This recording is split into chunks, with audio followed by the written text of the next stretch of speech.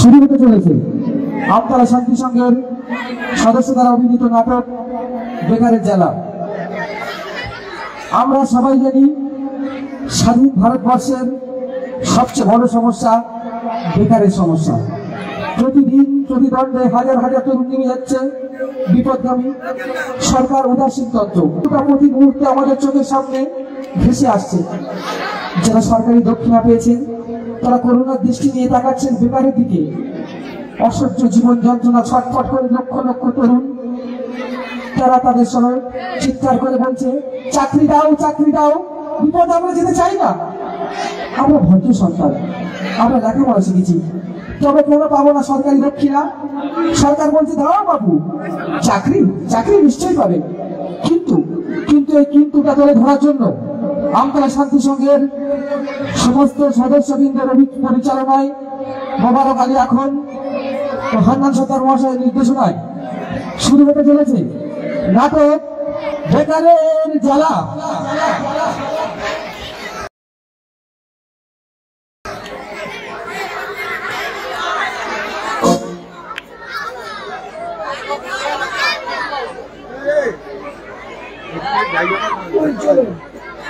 সবাই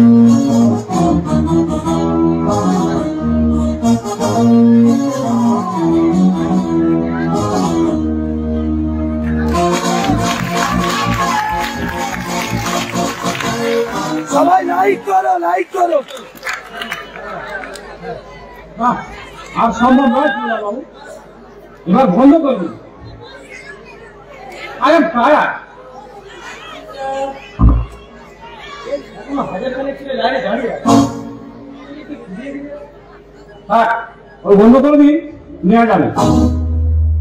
সেই বেলা এগারোটা থেকে চাটি নাকের মধ্যে বুঝে এই চেয়ারে এসে বসেছে। কাঁ কথা সহ্য হয় বলুন? আমিও তো মানুষ, এই মেশিন তো নয়। কিন্তু স্যার এসব বেকার ছেলে রাত চারটে থেকে লাইনে দাঁড়িয়ে আছে। মুখ নেই, খাওয়া নেই শুধু এক চিন্তা কখন ডাক আসবে? চাকরি হোক আর নাই হোক। আরে কি মুশকিল। আরে ভ্যাকান্সি মাত্র তো চারটে। তাও আবার আগে থাকতে সব সিলেক্ট করা হয়। আচ্ছা এসব ইন্টারভিউ করে মানে হয়? এসব লোকগুলো কি জানে না? এই চাকরি হবে না? শুধু শুধু ঝামেলা বাড়াচ্ছে তো আমাদের সরকারও যেমন কথা জানেন স্যার মানুষ আশাবাদী তাই ভাবছে এই ফাঁকো করে যদি চাকরিটা হয়ে যায়, ছাই হবে। আরে সত্তর টাকা মাইনে চৌকিদারের চাকরি এই তার জন্য আবার দু হাজার দরখাস্ত জমা করেছে তাকে এম এ বিএ পাসও আছে কেন রে বাবু? এই চৈতিদারের চাকরি না করে এই রোজ ঘুটেগিরি করলে তো পাঁচ টাকা পাওয়া যায়। হয়তো যায়। কিন্তু এইসব শিক্ষিত ছেলে ছয় শিক্ষিত। এই হাজার খানের ইন্টারভিউ তো হয়েই গেল। দেখলেন তো? ওই ছেলেদের সাধারণ জ্ঞানের দৌড় আমেরিকার প্রেসিডেন্টের নাম বলছে মাউন্ট সেতু জওহরলাল, নাম করা কাপড় ব্যবসা। কেন তারা স্কুল কলেজে যায়, আমি বুঝি না। কথা কি জানেন স্যার? বেকারের অশেষ জ্বালা। বাবার অপ্রসন্ন দৃষ্টি। মায়ের মুখ মেঘাচ্ছন্ন প্রতিবেশী বিদ্যুৎ। এসবের পরে ধৈর্য থাকে। ওরা খবরের কাগজে সিনেমার কথা দেখে। আর দেখে আইন আদালত তাই নাকি? হ্যাঁ স্যার। কি আমার নিজের জীবনের অভিজ্ঞতা। বেকারের অভিশাপ মাথায় নিয়ে লক্ষ লক্ষ তরুণরা হয়ে ঘুরে বেড়াচ্ছে। একটা কিছু কাজও দিতে পারলে দেশ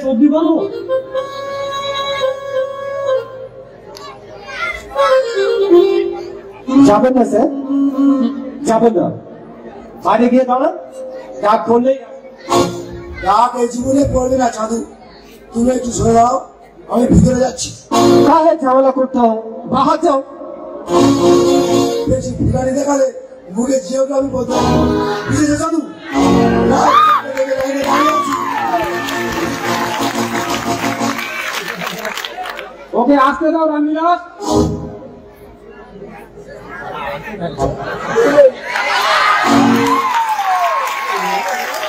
নমস্কার স্যার।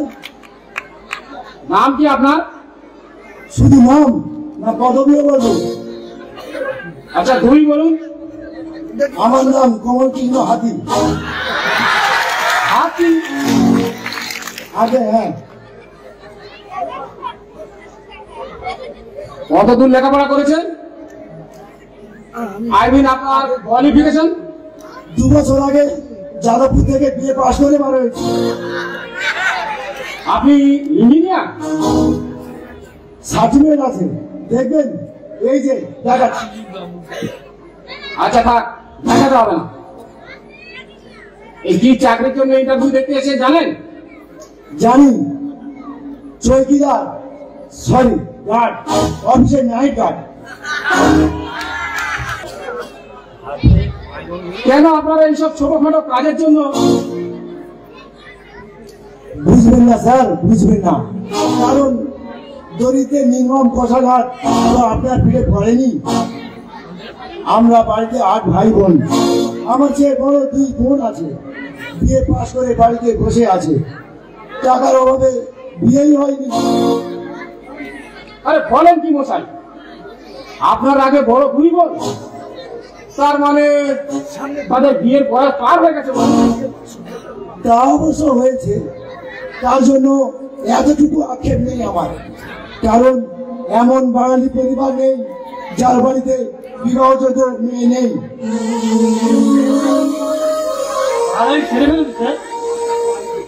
প্রায় সাড়ে চারটে বাজে।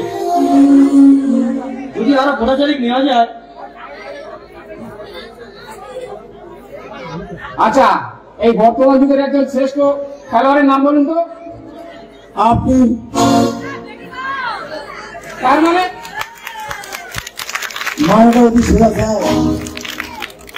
বা একজন করে এগারো জনের মোকাবিলা।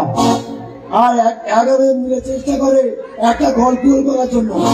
সেখানে আপনি একা দু হাজার লোকের মহড়া নিচ্ছেন। তাহলে বুঝুন, সে তো খেলোয়াড়কে দত্ত না আপনি?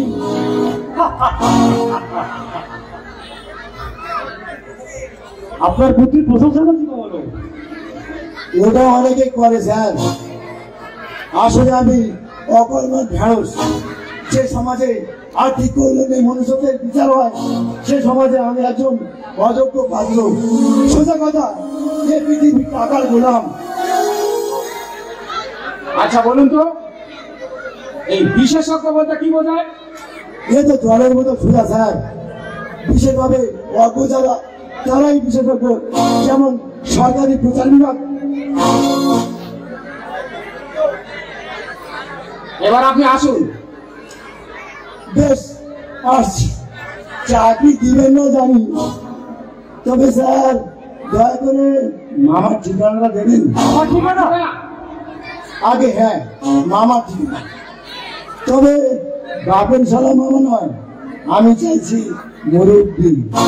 প্রয়োজনে তার মেয়েকে বিয়ে করতেও রাজি আছি।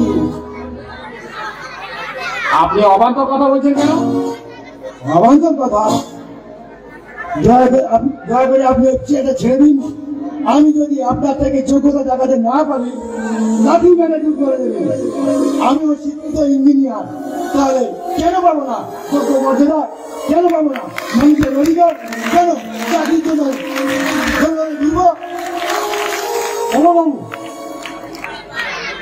আপনারা জানবেন না, কি করে দিন গত পাপড় ক্ষয় করে চলেছি। বড় আশা করে বাবা আমায় লেখাপড়া শিখিয়েছিল।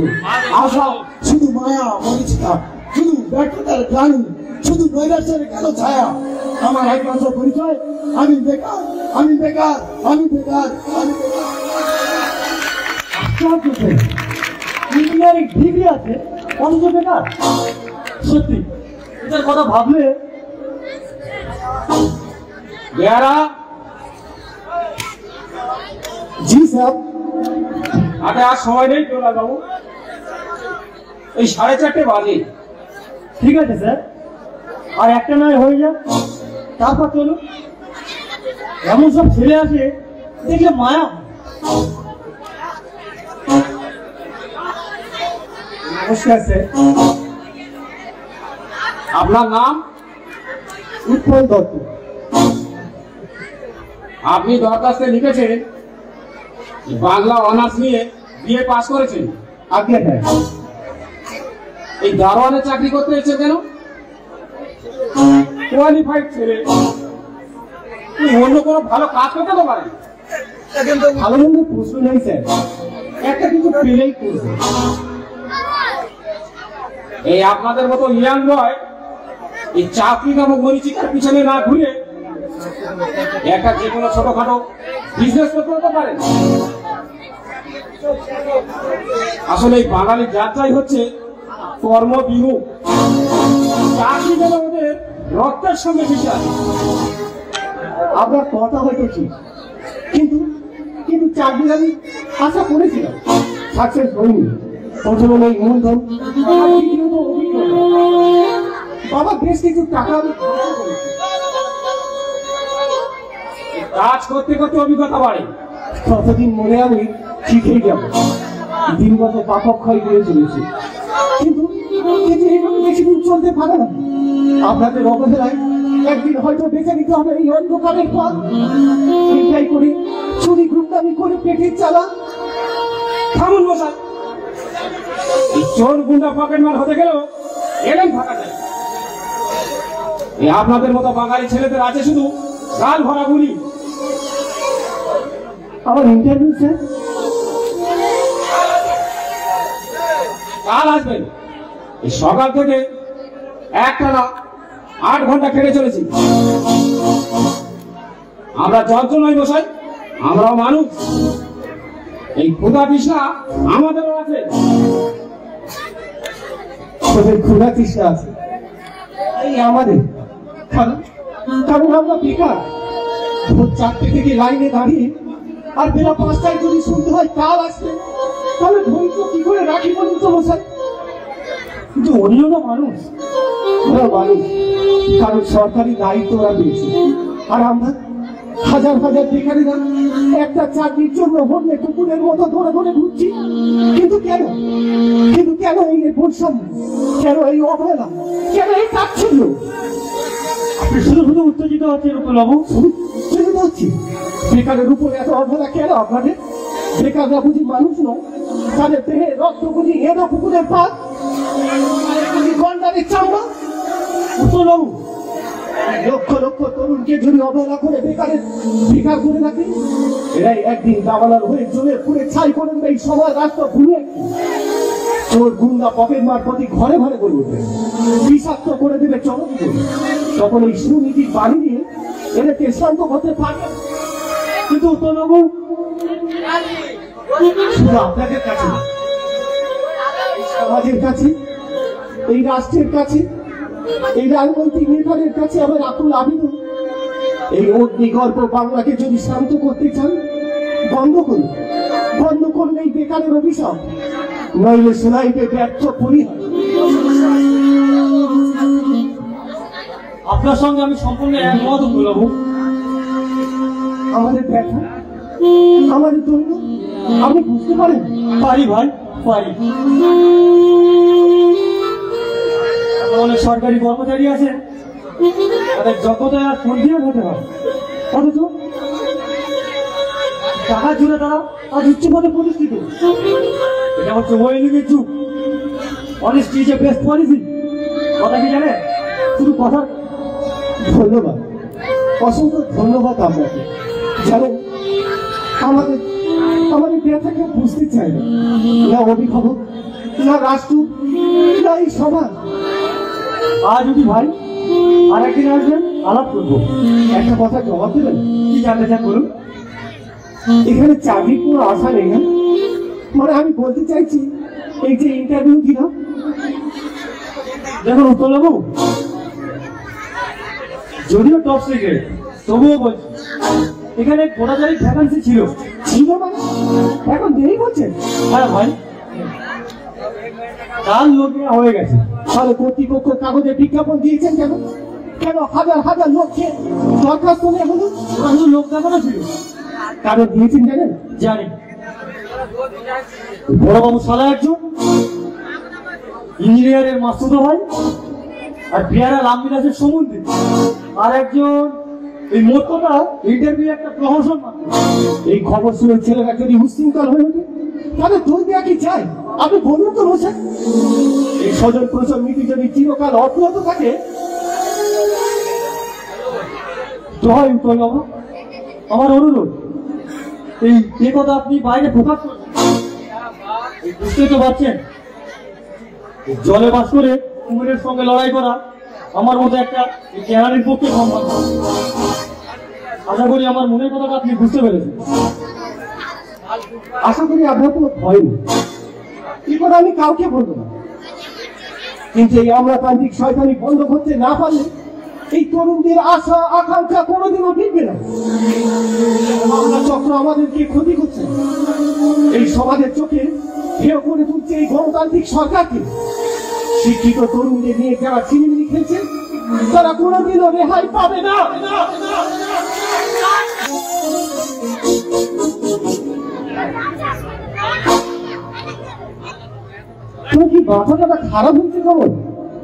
ঘরে দুটো বুড়ো থাকছে, আর বিয়ে করতে চাস?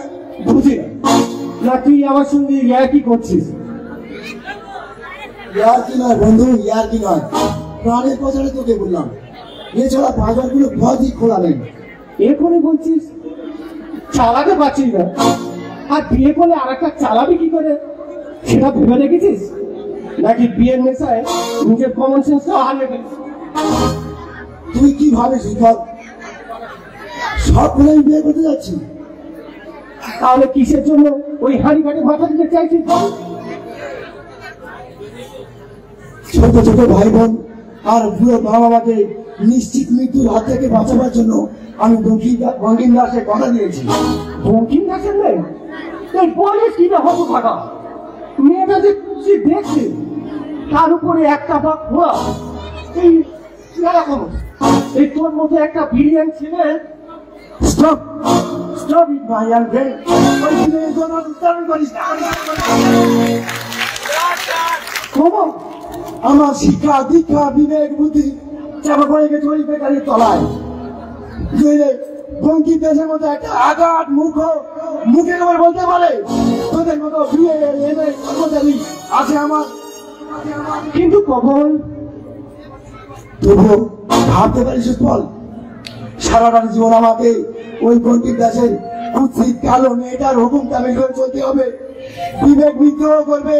মনুষ্যত্ব হাহাকার করবে। তবু তবু হাসি মুখে সব কিছু মেনে চলতে হবে আমার। কারণ আমি বেকার। কি শর্তে ওই বঙ্কিম দাসের মেয়েকে বিয়ে করতে চাইছিস? শর্ত অবশ্য লোভনীয়। আমার দুই দিদির বিয়ে যাবতীয় বাধার তিনি বহন করবেন। চাকরির ব্যবস্থাও করে দেবেন। চাকরিতে বঙ্কিম দাসের হাত আছে বল। তুই বোধহয় জানিস না সেদিন যে ভদ্রলোক আমাদের ইন্টারভিউ নিলেন সে নমিতা রায় হচ্ছে। বঙ্কিম দাসের বড় জামাই। বলিস কি? বঙ্কিম নিজে লেখাপড়া না জানলে কি হবে? টাকার তার মা কালীর বাচ্চাদের জন্য শিক্ষিত ঠিকই জোড়া করে রেখেছে। আমি কি বলছি এটা যুগ? বিয়ে তাহলে করছিস বল? বিয়ে করছি বললে ভুল হবে। বিয়ে করছি। শুধু বাবার কথা ভেবে আর মায়ের চোখে জল দেখে রাজি না হয়ে পারলাম না ভাই। তোর বিয়ের পর যদি ওই কমল দাস বঙ্কিম দাস যদি কথা খেলা করে? পথ বন্ধ। আর আমার তিনটের বিয়ে একসাথেই হবে। তারপর চাকরি না দিলে বলেই গেল। বঙ্কিম দাসের আল্লাদি মেয়েকে দুদিন রেশনের আগব চালে তিন খাওয়ালে বাবা বলে চাকরি দিতে বাধ্য হবে। এই দুঃখের মধ্যেও তোর গেল না? ওইটুকু জোরে তো বেঁচে আছি রে। নইলে মরে কবে যেতাম বাইরে থেকে বাড়ি এলে মা শুধু মুখের দিকে তাকায়। আর বাবা ফেলে দীর্ঘশ্বাস তখন আমার মনে হয় আমি যদি আত্মহত্যা করতে পারতাম। ঠিক কমল ঠিক জানি তোর মতো সবাই আমাকে ভিক্ষা দেবে। যখনই ভাবি অভাবী বাবার রোজগারের মোটা একটা অংশ আমাকে ইঞ্জিনিয়ারিং পড়ায় খুব ব্যয় হয়েছে। তখন নিজেকে বড় অপরাধী মনে হয় জান গোটা সংসারকে অর্ধাহারে অনাহারে রেখে বাবা ভবিষ্যতে স্বপ্ন দেখেছিল কিন্তু আমি আমি আমি কি দিলাম? তাকে আমি কি দিলাম? আমি কি দিলাম। ওসব আলোচনা থাক। চল একটু বেরিয়ে তোর বাইরে থেকে বেরিয়ে আসি। হ্যালো তোর তোর তোর মেজো ভাই কি করে? ঠিক জানি না রে। গত বছর হাই সেকেন্ডারিতে পাস করেছিল। জানিস ইংরেজিতে লেটার পেয়েছিল। কিন্তু টাকার অভাবে কলেজে ভর্তি করতে পারিনি। সারাদিন সে কোথায় ঘুরে কি ভগবানই জানে। রান্না বান্না কে করে? তোর বাবা? হ্যাঁ রে। মা মারা যাবার পর থেকেই বাবাই রান্না করে। কিছু ভালো লাগে না বুঝলি শুধু নিজের দুঃখটাকে বড় করে দেখি। অথচ আমার থেকে তোদের অবস্থা আরও খারাপ। হ্যাঁ রে তোদের ঘরে মা আছে। আর কিছু না হোক ওকে সান্ত্বনা তুমি পাস করা। আর আমরা আমরা তাকে তো বলছি তো জানি না এই দুঃখ রজনীর অবসান কোনোদিন হবে কিনা। বাজে বলছি না দুঃখ কারও চিরদিন থাকে না। দূর থাকবে না বাংলাতে বঙ্গি মাসের অভাব নেই, শুধু যোগাযোগের অপেক্ষা। থাক বাবা, তুমি নিজেই ডুবেছ সেটাই ভালো। আমাকে আর ডুবিও না। চল চল, বেরিয়ে পড়ি। আয়।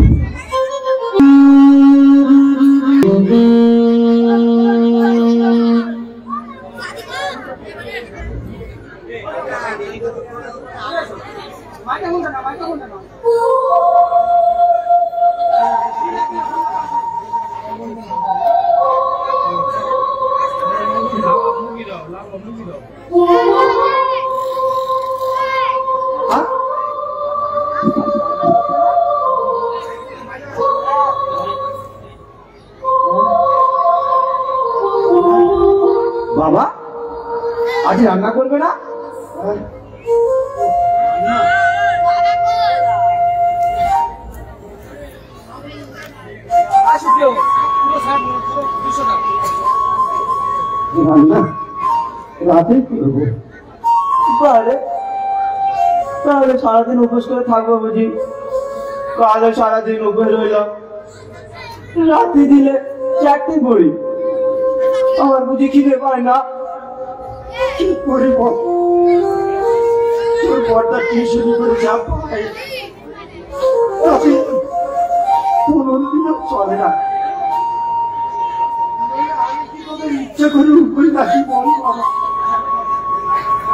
জানো বাবা ওই শঙ্কুদের বাড়িতে বড় বড় চারটে ফজলি আম এনেছিল।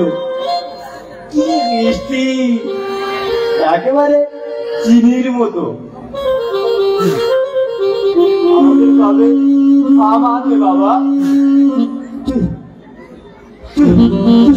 বাড়ি আম খেতে গিয়েছিস আম খেতে যাব কেন? আমি শঙ্কুর সঙ্গে খেলতে গিয়েছিলাম। শঙ্কু তখন আম খাচ্ছিল। ওর মা বলল, ওকে একটু দে তোর পেট ছেড়ে দেবে। দেখছি না খেলনার মতো আছে? শুনে আমার রাগ হচ্ছিল আমার।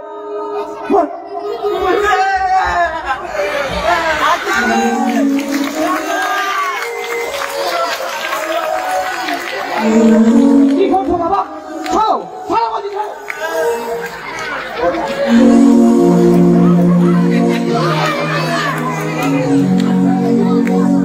হাত ছেড়ে দে। ওকে আজ আমি মেরে ফেলব। জীবন দত্তের ছেলে নাকে শুকিয়ে মরবে। তবু পরের খাবারের দিকে হারিয়ে তাকিয়ে যাবে নীতি কথায় মন ভরে। কিন্তু কিন্তু একটু একটা ভালো না বাবা। তুমি ওকে উপসী দেখে যদি নীতি কথা শোনাতে থাকো পেটের আগুন নিপবে নিপবে না। ওঠ। ওঠ রে হাত লাগা ওঠ। কেন যে কেন মতোই গরিবের ঘরে তুই?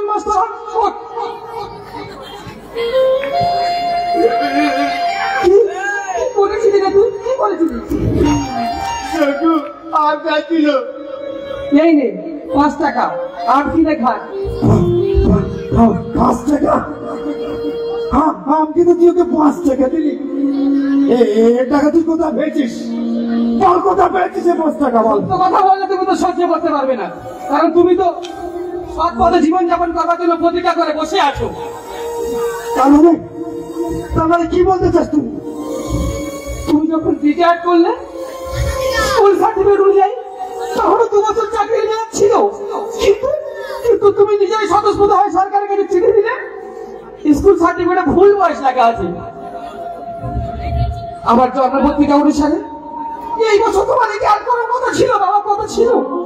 শীতল সরকার সরকার তোমার সত্যবাদিতার জন্য ধন্যবাদ পাঠালো। কাগজে তোমার বড় বড় নাম ছাপা হলো। এই পাড়া প্রতিবেশী পাড়া প্রতিবেশীরা তোমার অনিশ্চিত প্রশংসা করল। তুমি তুমি ফুলের মালা গলায় পরে জন্মের মতো অফিস থেকে বিদায় নিলে। চুপ কর কত বলে চুপ কর। চুপ করে তো এতদিন ছিলাম বাবা। কিন্তু যখন দেখলাম তোমার গলা সেই অনিশ্চিত মালা ফুলগুলো শুকাতে শুকাতেই তোমার মুখ শুকাতে লাগল। হলো আমাদের উপোসের পালা। বলতে পারো? বলতে পারো বাবা। সত্যবাদীদের কি পুরস্কার তুমি পেয়েছ? তোমার বেকার ছেলেদের চাকরি, তোমার শিশু সন্তানের লেখাপড়ার আশ্বাস, মাথা বলে এতটুকু আসতে না লাফে লাফে কিছুই পাওনি তুমি, কিছুই পাওনি। আর আমি পেয়েছি। এই সমাজের অবজ্ঞা, এই রাষ্ট্রের অবহেলা, এগুলো নিশ্চয়ই তুমি তোমার প্রয়োজনের অতিরিক্ত পেয়েছ বাবা। আমি জানতে চাই টাকা তুই কোথায় পেয়েছিস? বলেছি তো, শপথে নয়। শপথে শপথে বেঁচে থাকা যাবে না বাবা, বেঁচে থাকা যাবে না। নইলে নইলে পড়াশোনা ছেড়ে দেওয়ার পর আমিও চেষ্টা করেছিলাম। ভদ্রভাবে দুটো পয়সা রোজগার করে তোমার হাসি, দুটো হাসি ফোটাবো। ভিসে করিনি কিন্তু তার ফল কি হয়েছিল তোমরা জানো? না হ্যাঁ। দ্বিতীয় দিন রাস্তায় গাড়ি নিয়ে বেরোতে পুলিশ আমাকে বলল ড্রাইভিং লাইসেন্স আমি তাকে অনুনয় বিনয় করে বললাম কাল থেকে গাড়ি হাতে হাতে এক একটা সপ্তাহ যেতে দিন, আমি লাইসেন্স করিয়ে নেব তারপর? লোকটা আমার কথায় কান দিল না। আমি নিয়ে গেল থানায়। আমি বড় বাবুকে অনুনয় বিনয় করে বললাম, আমি যে শিক্ষিত, বেকার শীতল তা বললাম। কিন্তু মানবিক মূল্যবোধের কোনো দাম দিল না সেই আইনের রক্ষক। তারপর কি হলো? সমস্ত শীতের ডাক্তার ওদের হাজত ঘর আমাকে কাটাতে হলো। আমার সঙ্গে এমন আচরণ করল। আমি যেন চোর, গুন্ডা দাঁড়িয়ে আছি পরের দিন পরের দিন রাতে খেয়ে উঠল পাঁচ টাকা জিদি মানো নয়তো তিন দিনের চেন তুমি জেল খেটেছো মেঘদা অথচ অথচ সেই পুলিশ পূর্ববঙ্গে তাকে আমি কতদিন দেখেছি? দিল্লি রোডের চৌরাস্তায় দাঁড়িয়ে ওভার রোডের গাড়িগুলোর কাছ থেকে ঘুষ দিচ্ছে তোমাদের সরকার জনপ্রিয় সরকারের এদের কথা? তখন তো স্বাধীনতা প্রশ্ন আসে না। তবে কেন? কেন কেন অসৎ হতে পারে। কিন্তু আমার মহৎ হতে দোষ নাই অপরে কে কি করল না করল? তাতে আমার কি? তোমার মানধতা আমার নীতিবাক্য শুনলে না আমার স্নায়ুতন্ত্র উত্তেজিত হয়ে উঠছে। দুনিয়ার মানুষ এই দুনিয়ার মানুষ যখন চাল চুর চুরি করে টু পয়সা কামিয়ে নিচ্ছে তখন তুমি তখন তুমি উপোস পেটে নীতিবাক্য চলেছো। না তোমার কথা মতো চললে আমাদেরকে উপাস করে মরতে হবে। আমিও বাঁচতে চাই বাবা, আমিও বাঁচতে চাই। ছলে বলে কৌশলে আমারও আমার আমার আদর্শ কি তুই আদর্শ। আদর্শ শুধু কথার কথা। সুমধুর ছলনা কে তাকে বলি বিবেকহীন প্রবঞ্চনা।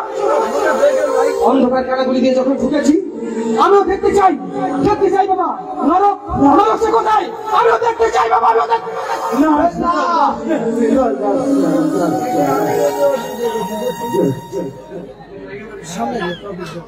মেয়েটা চলে গেল বাবা। যাক ও যে দেখাচ্ছে। না তাকাই ভালো।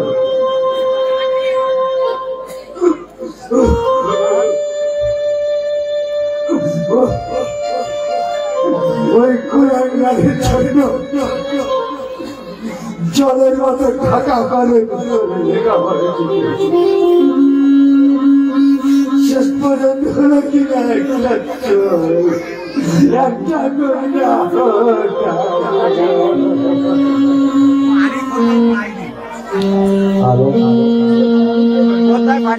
জীবন বাবু আছে?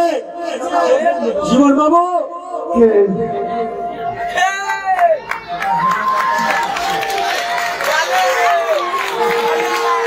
আসুন রকি বাবু বসুন।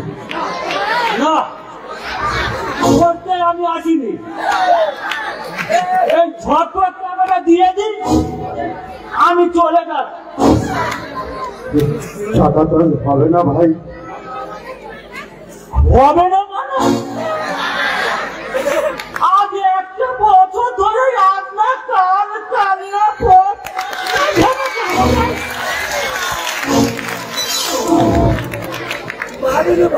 আমি কি আপনার বাপকে না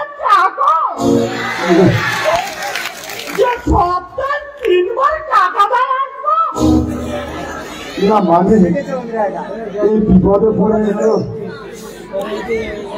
ও সমস্ত কাদুরি গাইবেন না মশাই। বাবুকে আমি তখনই বলেছিলাম কিছু like, share করো। বিশ্বাস নেই।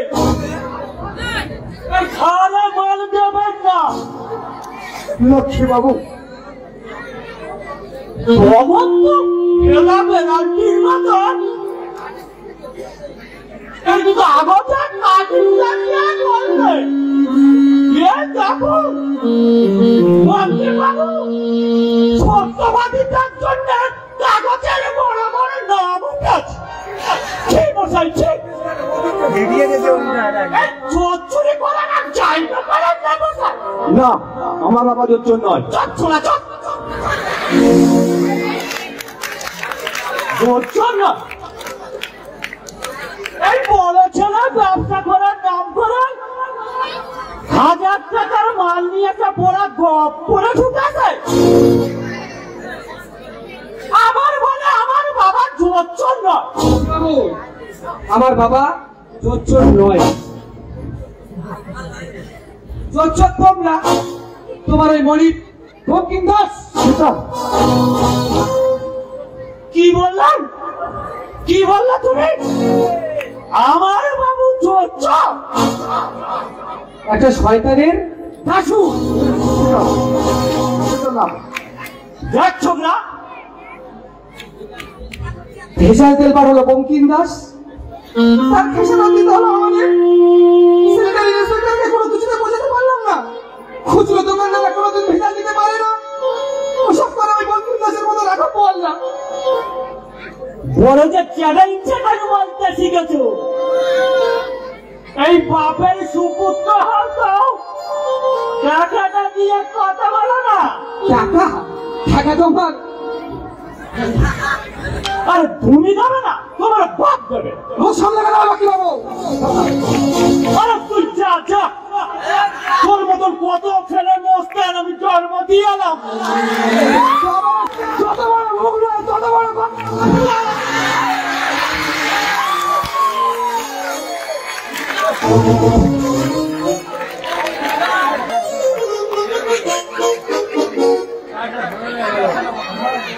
তারে বেঁধে দিলে রাষ্ট্রের সব যাই বলো ভাই ওই শ্বশুর মশাইয়ের মেয়েগুলো না ভীষণ বুঝি। হ্যাঁ। এই বিয়ের এক বছরের মধ্যে আমার লাখ ফিরে গেল। আমি ছিলাম থার্ড বেটার কেরানি এই বছর ঘুরতে না ঘুরতে ক্যান্ডিডেট অফিসার এতে শ্বশুর মশাই কিছুটা সাহায্য অবশ্য করেছেন। তবু একটু আগে আমি আপনাকে বলছিলাম না, এটা গণতন্ত্রের যুগ না, এটা জ্ঞানতন্ত্রের যুগ। নইলে যে চাকরির জন্য আমি স্বর্গ মর্ত রসাতল চোখে ফেলেছিলাম সেটা কি স্বপ্নে ভেবেছিলাম? কিন্তু কমল স্টপ দাদা, কথাটা আমার শেষ করতে দিন। বঙ্কিমবাবুকে, বঙ্কিমবাবুর মেয়েকে বিয়ে করার দশ দিনের মধ্যে আমার বাড়িতে জয়নিং গিয়ে হাজির। অথচ হাজার হাজার শিক্ষিত বেকার ধন্য কুকুরের মতো ঘুরে বেড়াচ্ছে। সব চেয়ারে একলা তাহলে আমার মধ্যে রাতারাতি কীভাবে পয়দা হয়ে গেল? আরে কি মুশকিল। এই স্বাস্থ্য দপ্তর যার হাতে, আরে তিনি যে শ্বশুর মশাইয়ের বন্ধু। তার মানে চলে চলে মাসতো তো ভাই। জানো কমল এই শ্বশুর মশাই সম্বন্ধে এই অশ্রদ্ধা উক্তি করা তো আমার উচিত নয়। ওই তিনি শুধু শ্রদ্ধার পাত্র নন তোমার অন্নদাতাও। তাই তাদের যা বলবে একটু ভেবে চিন্তে বলবে। আপনার উপদেশের জন্য অসংখ্য ধন্যবাদ। কিন্তু আপনি যদি অশ্রদ্ধার কাজ করেন কি করে শ্রদ্ধা রাখি তো?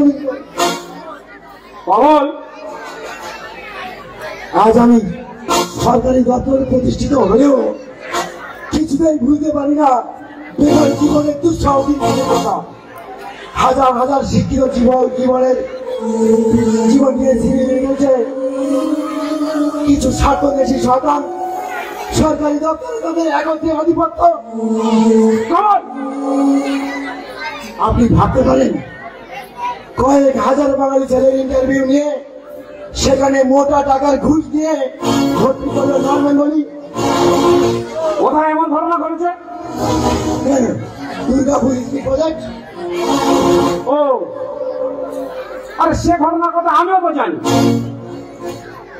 ওই ওরালে আই মিন মৌখিক পরীক্ষায় এই বাঙালি ছেলেরা ফেল করেছিল। ফেল করেছিল? না কচু।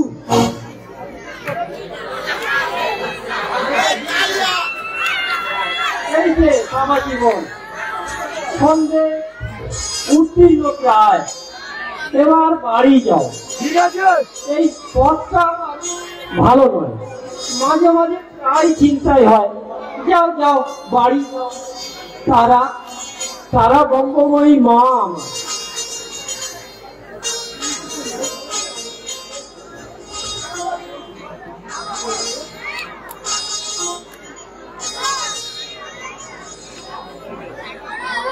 এই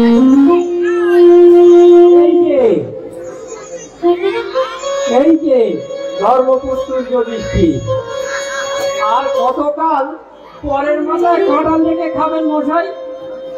আপনি কি বলছেন? আমি ঠিক বুঝতে পারছি। বুঝতে পারছেন না? কি সরলতা। যেন জাদভ্রষ্ট। হাজার টাকার কেনা মেরে সালা আমার বিরাট তপসী হয়েছেন। জোচ্চোর কোথাকার।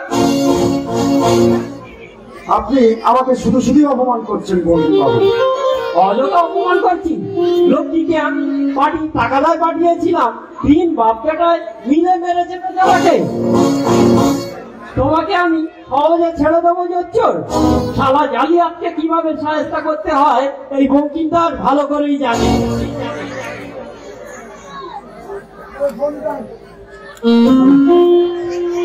আমি জোচ্চন আমি জানি না।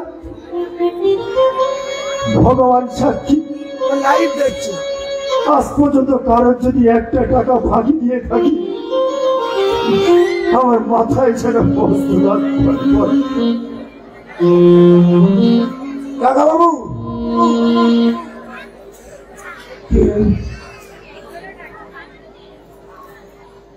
বাবা কমল?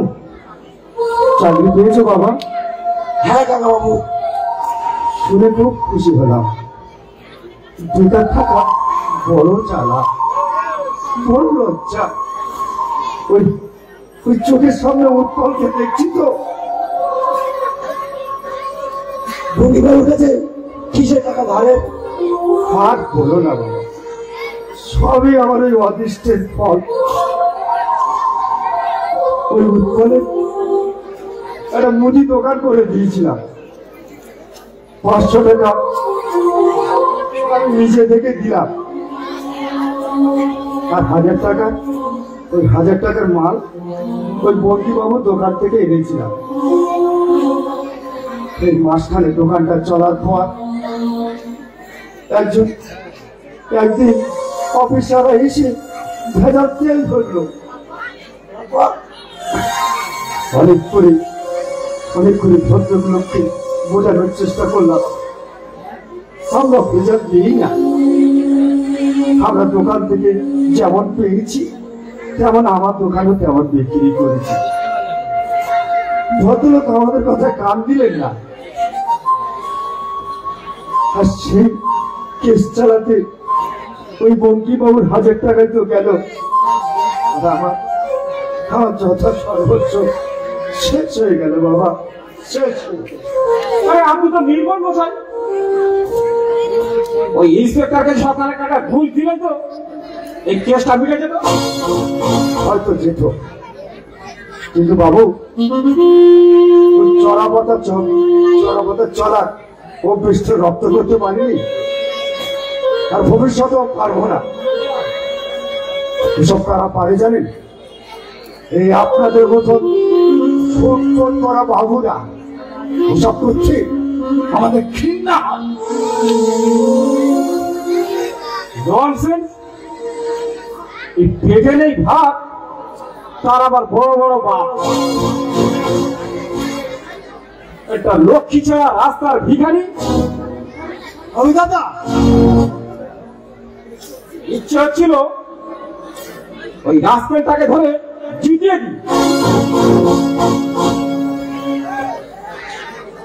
সারা ছোট লোক এই ধার করতে পারছে না? তার আবার লম্বা লম্বা গুলি। ওদের দোকানটা যে ফেল করিয়ে দিল? কে ভাই করেছে সেটা আপনার কেন? শুনলেন না? ভেজাল তেল সাপ্লাই দিয়েছিলেন আমাদের মহামান্য শ্বশুর মশাই সরকার লাগু পড়াতে গায়ে হাত দিতে পারে না। ওরা যে চাঁদির জুতো ছুঁড়ে দেয়। তোমার কপালে অশেষ দুঃখ আছে। এইসব কথা যদি শ্বশুর মশাই কানে যায় আপনি শ্বশুরের গোলাম হয়ে যাবেন। আমার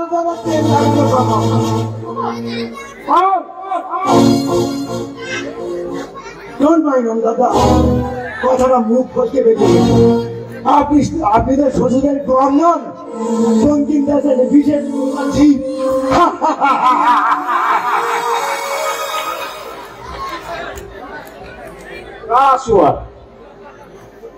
এই প্রতিফল যদি হাতে হাতে দিতে না পারি,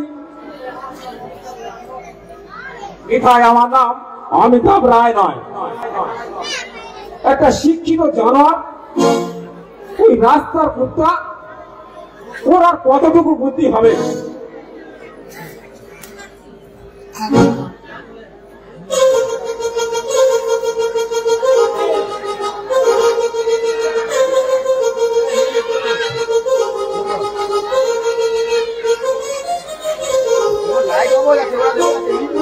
দাদা। তোমার কথা মতো চললে? উপোস করে মরতে হবে আমাদের। এটা হচ্ছে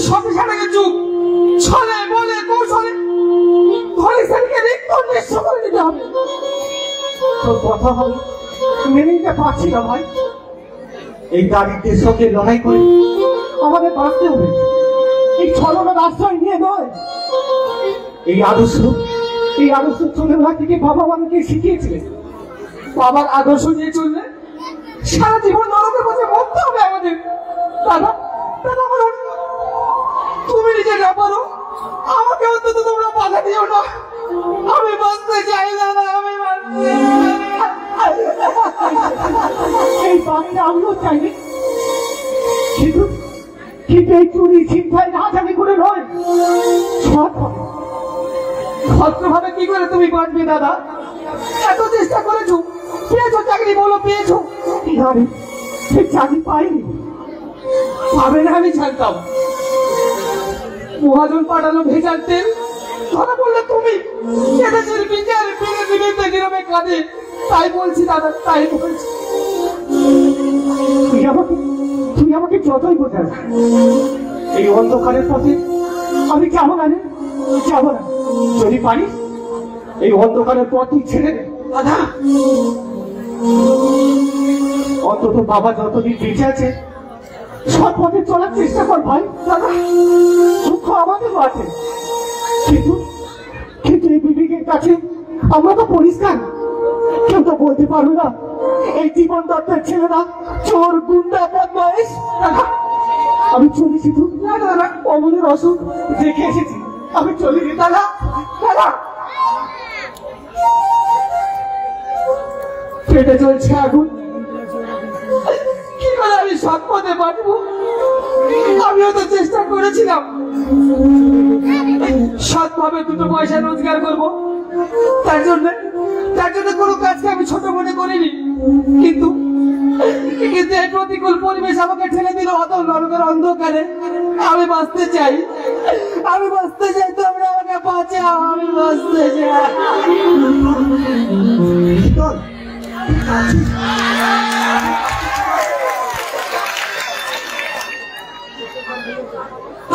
না সুন্দর ভাই আমি পাচ্ছি না আমার শরীরটা আর ভালো নেই আমি ট্রেনায় চলে যাচ্ছি शीतल तबीयत खराब है तो थोड़ा पी लेना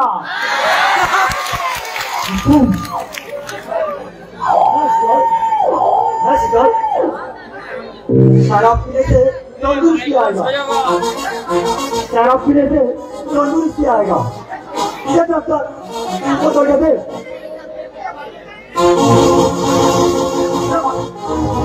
না না না শুনতে তো আমি ভদ্রলোকের ছেলে। অবস্থা বিপর্যয়ে হাত আমি খারাপ পথে নেমেছি।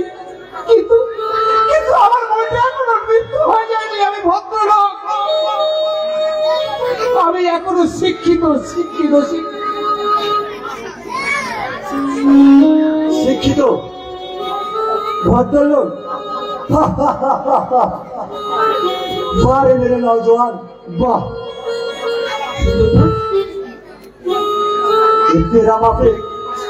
হাজার হাজার নওজোয়ান চাকরি দাঁড়িয়ে চাকরি হচ্ছে সরকার বলছে, দেখছেন দিনে জীবন আছে তাও তো বলছি। চাকরি না দাও আমরা খাব করে খাব জনতা সরকার, অথচ একজন খাবে করবা করো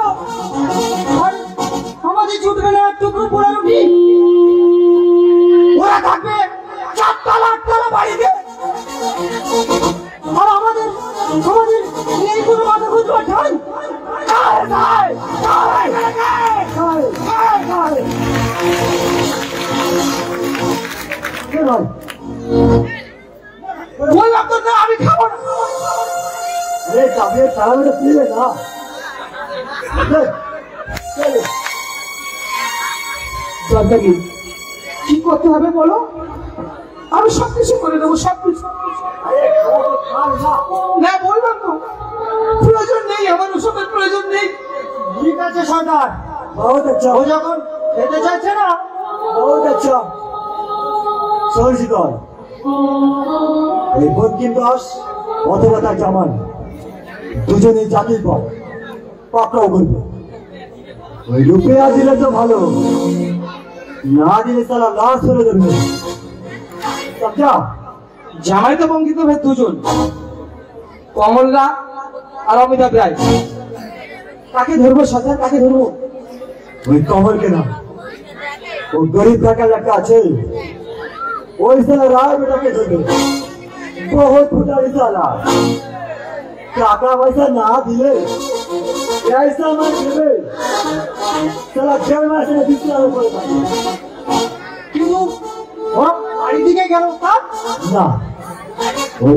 শহরে গেছে।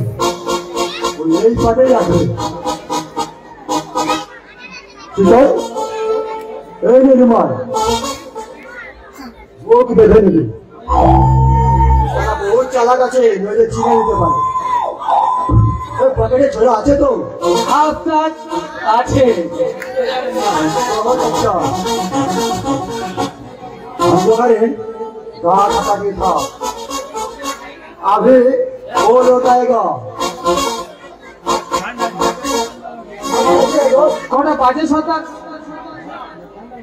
আচ্ছা।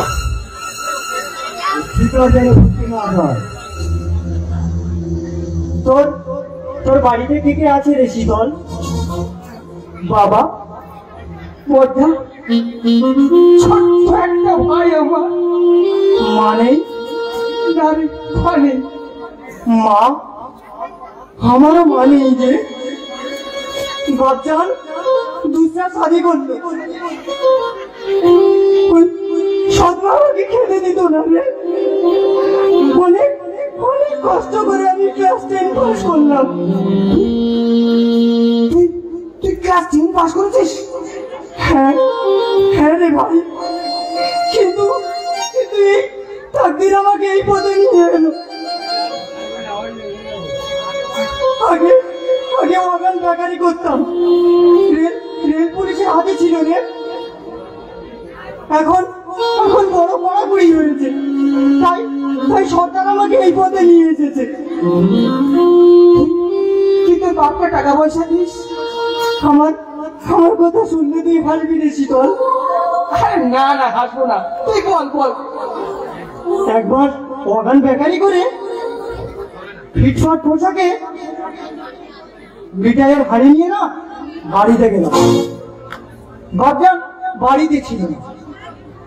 সর্ব প্রথমে আমাকে দেখে চিনতে পারিনি ভেবেছে কোন বড় লোকের ছেলে আমাদের বাড়িতে এসে বলিস পরিচয় দিতেই সৎমা এক মুহূর্তে গোটা পাড়ার লোক জড়ো করে ফেলল। সে কি আনন্দটা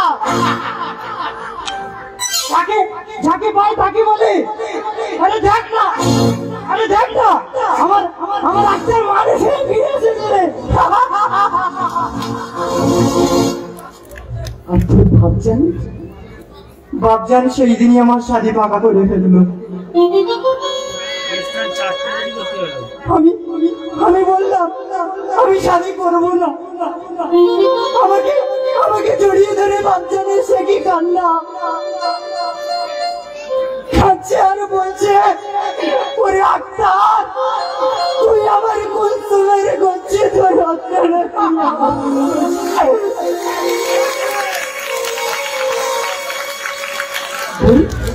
মজার গল্প রে তোর। শেষটা শোন মেয়ের বাপকে বলল? জানেন রসুল মিয়া ডাক্তার আমার হিরের টুকরো ছেলে। ওই শহরে ভালো চাকরি করছে হাজার টাকা এনে আমার হাতে দিয়েছে। সত্যি তুই হাজার টাকা দিয়েছিলিস? সত্যি কথা বলবি কিন্তু। মাথা খারাপ নাকি আমার বাপজানকে আমি চিনি না। হাজার টাকা বাপজানকে দেখিয়ে না আমি উৎকেসে ভরে রেখেছিলাম। তারপর একটা বল। দুদিন পর না। হঠাৎ বাড়িতে পুলিশ এলো। আমি আমি খিড়কি দরজা দিয়ে সুটকেসটা নিয়ে পালালাম পুলিশ পরে পরে দেশের মানুষের কাছে কি শুনলাম জানিস? বাবা নাকি পুলিশের কাছে বলেছে আমার গোলাইকারের বাবা আমি নই তার মানে? তার মানে পৃথিবীটা টাকার গোলাম টাকার গোলাম। এই রে ওরা আসছে বোধ চল চল চল লুকিয়ে চল চল হ্যারি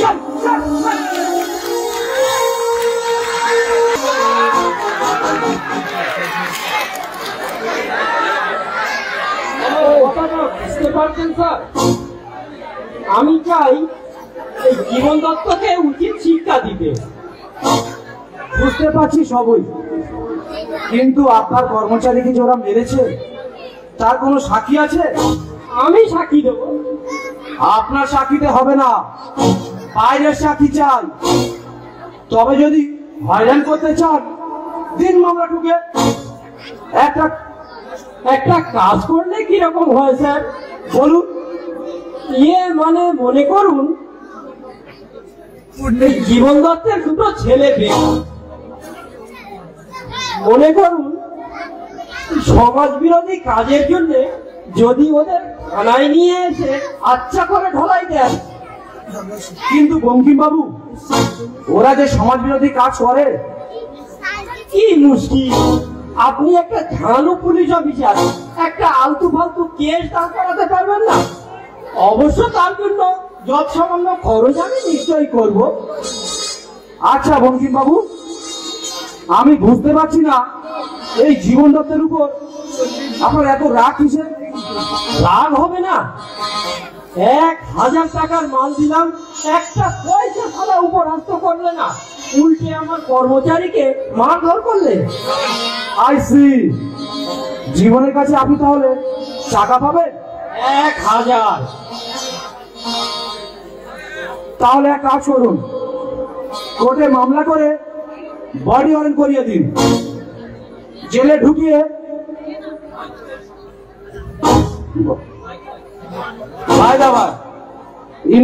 পুলিশ আপনার নামে কয়েকটা ভেজাল কেস দিয়েছে।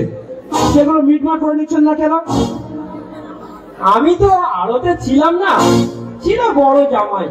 সে নাকি পুলিশের সঙ্গে তর্ক বিতর্ক করেছে। তাই রাগের বয়সে ওরা কেসগুলো দিয়েছে। রাগের বয়সে নয়। তেল বনস্পতি চা মশলা যতগুলো স্যাম্পেল ওরা নিয়ে এসেছে সবগুলোতেই ভেজাল। আপনি একজন লব্ধ প্রতিষ্ঠ ব্যবসায়ী। কেসগুলো যদি আদালতে ওঠে আপনার সম্মান থাকবে তো? ঠিক আছে স্যার। একটা রফা করিয়ে দিন। আগে দু পাঁচশো খরচ করা যাবে। দু পাঁচশোতে হবে না। হাজার পাঁচেক খরচ করতে হবে। কিন্তু স্যার আরে মশাই, লাখ লাখ টাকা আপনি ভেজাল দিয়ে কামাচ্ছেন, আর পাঁচ হাজার দিতে আপনার গায়ে লাগবে? স্বাধীন দেশের নাগরিক হয়ে? ঠিক আছে স্যার, আপনার কথা মতোই কাজ হবে। কাল আমি থানায় যাব, মিলেমিশে কাজ করতে হবে বই কি? নাকি বলেন স্যার? হ্যাঁ হ্যাঁ হ্যাঁ হ্যাঁ। সেটা কয়জনে বোঝে বলুন? আমারও তো একটা দায়িত্ব আছে। আচ্ছা রাত অনেক হলো। এবার আপনি বাড়ি যান। কাল যাচ্ছেন তাহলে? যাব স্যার। ইয়ে বঙ্কিম বাবু আপনার আড়তে ভালো চাল হবে? চাল? হ্যাঁ। মানে রেশনের যা চাল দিচ্ছে সে তো একেবারে অখাদ্য।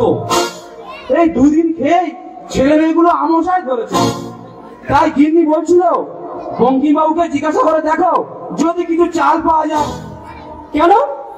আজকাল কর্নিং এলাকার চাল পাস পাওয়া যাচ্ছে না। আরে দুধ চাল ধরা হয় বটে কিন্তু থানায় এসে পৌঁছাবে তো। এই হুমঘাট গাটারা পেটে যেন দুর্ভাগ ভিগো নিয়ে এসেছে। ও দু চার মন যা পাওয়া যাচ্ছে ওরাই ভাগাভাগি করে নিচ্ছে। ও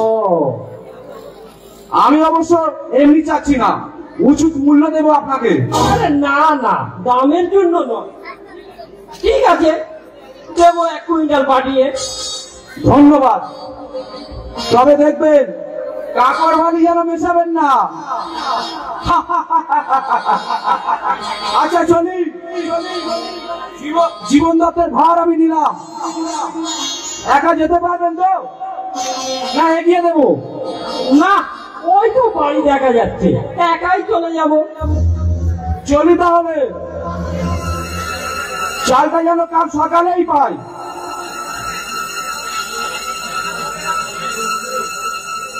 শালা বাচ্চা, কর্নিং এলাকা থেকে বস্তা বস্তা চাল আনছে, আবার আমার কাছে বায়না ধরেছে, চাল চাই।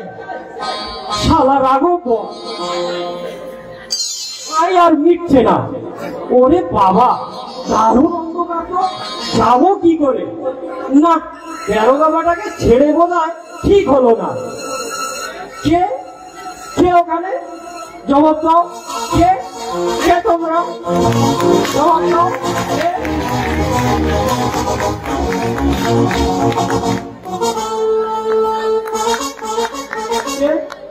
তো জমে শুয়ে বাচ্চা। তো জম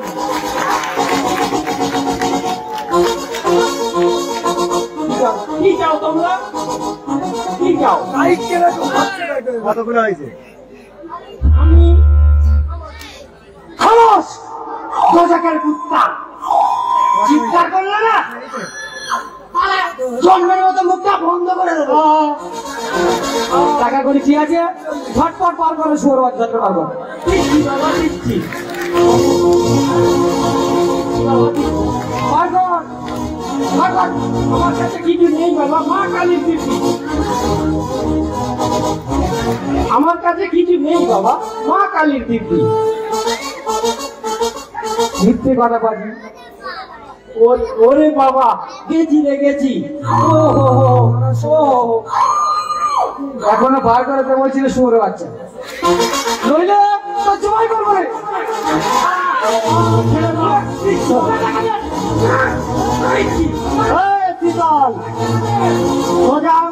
উঠবে না।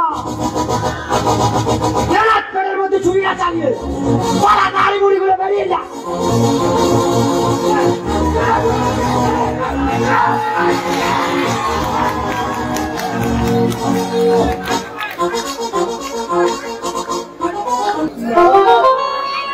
একটু তুলে নে আম খাইনি আম তোমার পায়ে পড়ি বাবা আমাকে আর মেরে না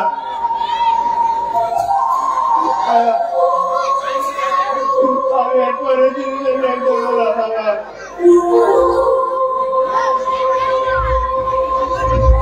প্রভু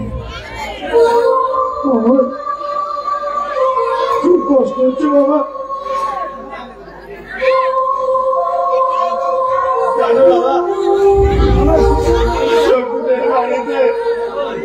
ইয়া বড় বড় পল্লি আম এনেছিল আমাকে বলেছে আগলা আর কোনোদিন ওদের বাড়িতে যাবে না মা মা তুমি চলে যেও না মা তুমি চলে আমাকে হ্যাঁ। শান্তি আমতলা শান্তি সঙ্গ। আর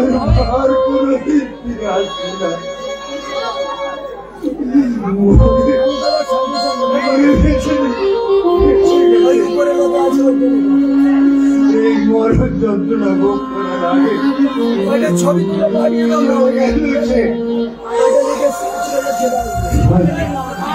আর যদি সে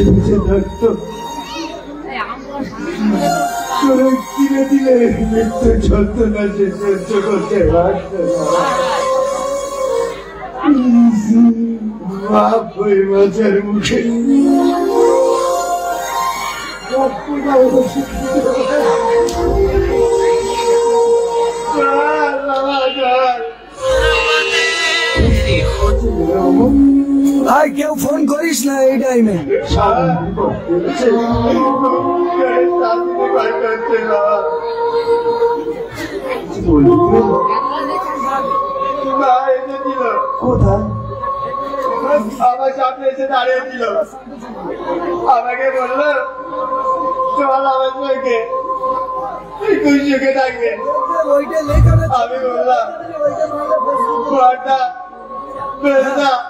বাবাকে ছেড়ে আমি কোথাও যাব না।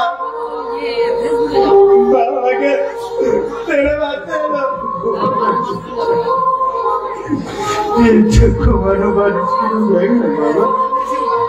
দেখো বাবা, কি সুন্দর একটা পাখি। কোথায় পাখি? একটু ঘুমা ঘুমানোর চেষ্টা কর বাবু কেমন আছে বাবু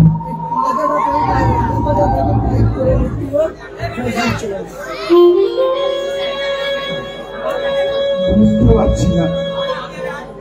মাঝে মাঝে ভুল হয়।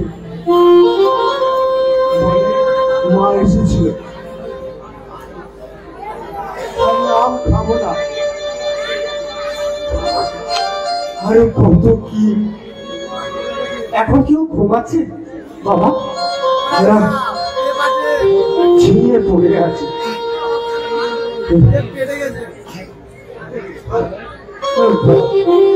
টাকা জোগাড় করতে পারলে না বাবা। ওই ওই ওই কি বললে তার সারাদিন দিয়ে একটা টাকাও নেই। করলি না।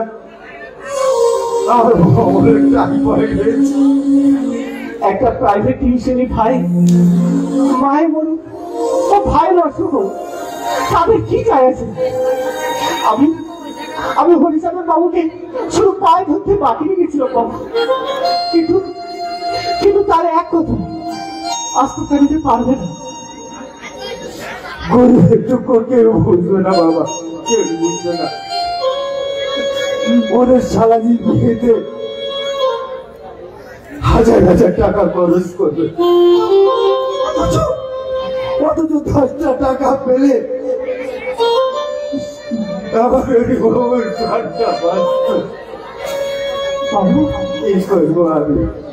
আমি? যে অক্ষম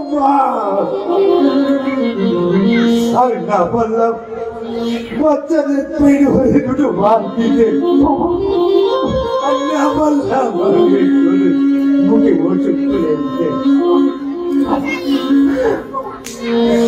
কোথায় আমি কোথায় লুকবো আমাদের কিন্তু তো মুখ আমি কোথায়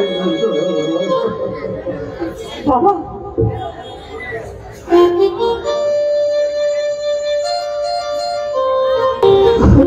চলো না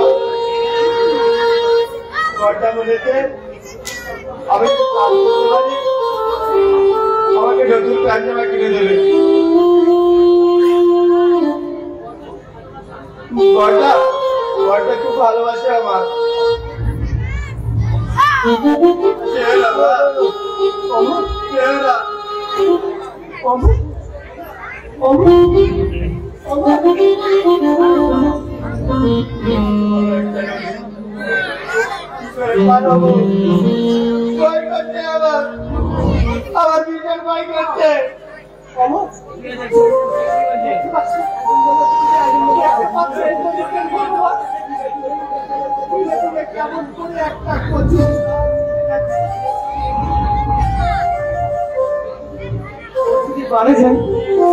এই পৃথিবীতে কার কতটুকু দুঃখ হবে? পাচ্ছে না তাগুল পাচ্ছে না তাগুল পাচ্ছে এই চোখের সামনে এই যন্ত্রণা সহ্য করতে পারছি না ঠাকুর পাচ্ছি না।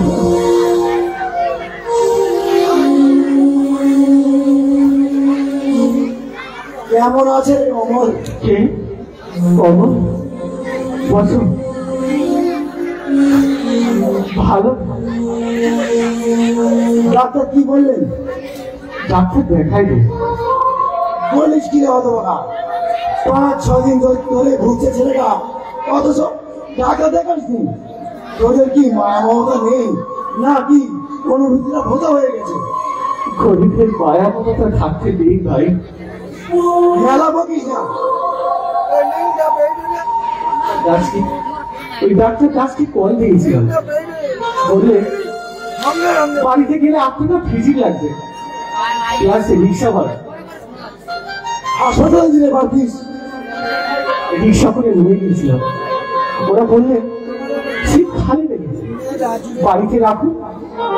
আউটডোর থেকে ওষুধ কিনে নেবেন অসুখটা কি? টাইফয়েড আউটডোর থেকে বসে এনেছিস? ওষুধ তো ক্যাপসুল হাসপাতালে নেই। ওই বাইরে থেকে বাইরে থেকে কিনে নিতে বললে। শয়তান জানোয়ারের দল গরিবের চিকিৎসার জন্য সরকারি হসপিটাল অথচ গরিবের পাবে না সরকারি সুযোগ। তাহলে হাজার হাজার টাকা খরচা করে লাভ কি সরকারের? এইসব বাস্তবকে মেরে তাড়াতে না পারলে মা মা আমাকে নিয়ে যাও। আমি তোমার কাছে যাব না আমি থাকব না। আমি এখানে থাকব না। না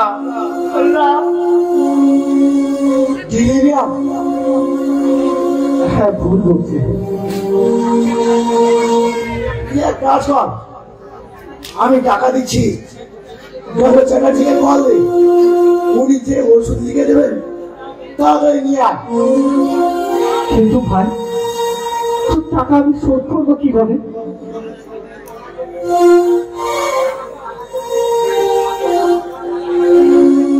বাজে সামান্য টাকার জন্য।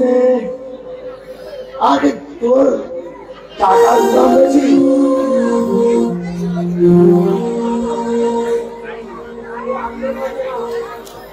টাকার দাম বেশি।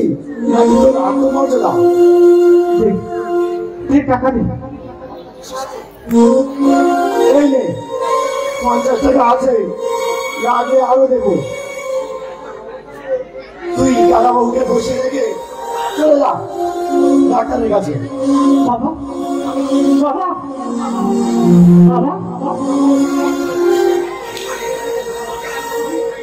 তুমি বাবাদের কাছে বসো। আমি ডাক্তার নিয়ে বাবা, আমি ডাক্তার নিয়ে আসছি চল আমিও যাব তোর সঙ্গে। কিছু নেই।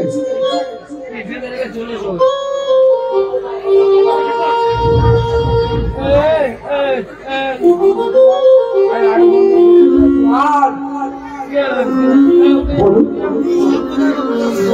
শীতলদত্ত এই বাড়িতেই থাকে? না। না বলছেন? কিন্তু আমি তো শুনেছি এই বাড়িতেই থাকে। কি ব্যাপার বলুন তো স্যার? শীতলকে খুঁজছেন কেন? এই ন্যাকামো করবেন না। আপনি জানেন না? কেন খুঁজছি? আপনি বিশ্বাস দিনে দুপুরে চিন্তাই করে বেড়াচ্ছে। কাল রাতে বঙ্কিমবাবুর ঘড়ি আঁকি ও নগদ পাঁচশো টাকা নিয়েছে শয়তানের দল। ধরতে পারলে শুয়ারের বাচ্চার বাপের নাম ভুলিয়ে দেবো। আপনি ভদ্রলোক? অথচ আপনার মুখের ভাষা এত ইঁদুরের মতো কেন? What এই রে ইংরেজের ঘুম হারিয়ে এসেছে। আপনার পিতা বাবু কি ইংরেজ ছিলেন মশাই? দেখুন। আপনি কে জানি না? আপনাকে আমি সাবধান করে দিচ্ছি। আমার কাজের মধ্যে নাক গলাতে আসবেন না। না হলে মুশকিলে পড়ে যাবে। আমার মুশকিলে সবার সাধু আপনার নেই। তাই নাকি? নিশ্চয়ই। মহাত্মা বঙ্কিমবাবু যিনি আপনাদের মোটা মাসে মাসে মোটা মাসওয়ালা দিয়ে থাকেন তিনি আমার শ্বশুর। আই সি, আপনি বঙ্কিমবাবু ছোট জামাই। দেখুন তো, এই জানাশোনা না থাকার কারণে আপনার সঙ্গে ফালতু ঝামেলা হয়ে গেল। ওরকম হয়। আমি জানি শীতল এ বাড়িতে থাকে না। অনুগ্রহ করে আপনি চলে যান। দেখছেন না ছেলেটার অসুখ। আই এম সরি শীতল তাহলে বাড়িতে থাকে না? না। ভদ্রলোকের ছেলে এই কেন যে গুন্ডামি করে বেড়ায়? ভগবানই জানে। ভগবান নয় শরণবাবু ভগবান নয়। জানেন এদেশের ভাগ্য বিধাতারা হাজার হাজার টাকা হাজার হাজার তরুণ দিশাহারা হয়ে পদে পদে ঘুরে বেড়াচ্ছে। তাদের একটা কাজ না দিতে পারলে ঘরে ঘরে সমাজ বিরোধী গুন্ডা মস্তান তৈরি হয়ে শাসনের চাবুক দিয়ে তারা তাদের সাহায্য করতে পারবেন না। দেখুন দেখবার সময় নেই, তাহলে ছেলেটা বাঁচবে না।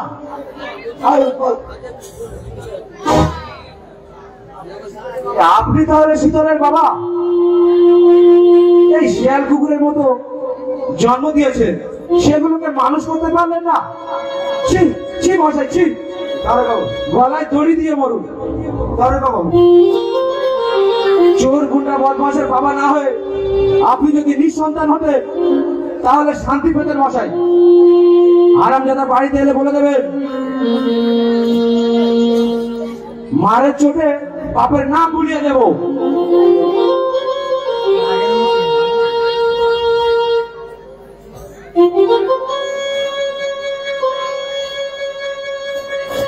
শ্বশুর শ্বশুর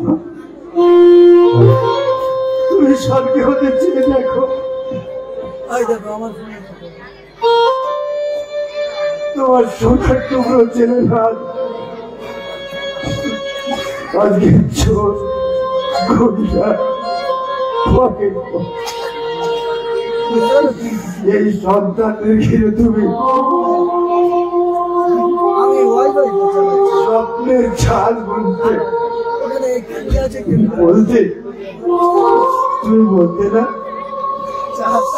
আমাদের মঞ্চের মান উজ্জ্বল করবে। কিছু পেয়েছি আমি আমার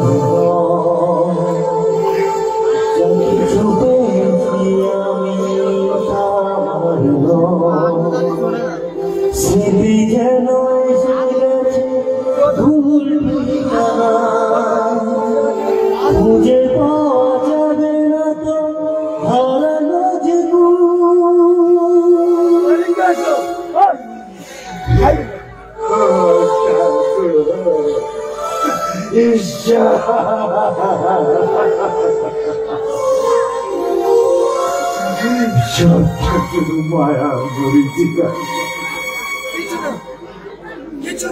শুধু ব্যর্থতার গ্লানি শুধু মুখ ভরা হাঁকা চল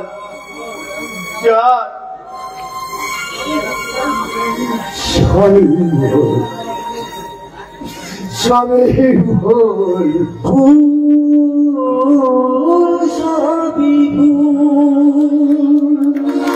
জীবনের নাম যদি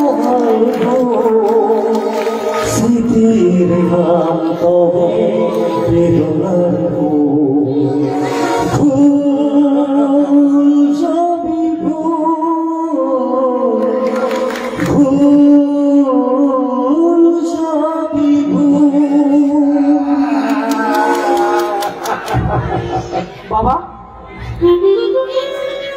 কেমন আছে বাবা? কদিন ঝামেলা তুমি আসতে পারিনি। আর তাছাড়া ওর যে টাইফয়েড হয়েছে, আমি জানতাম না। ডাক্তার দেখাচ্ছ তো? দাদা কোথায়? চাকরি ঠান্ডা বেরিয়েছি বুঝি? অমু অমু কেমন আছিস না তুই? অমু কেমন আছিস? ওখানে ছবি বলছো? চুপ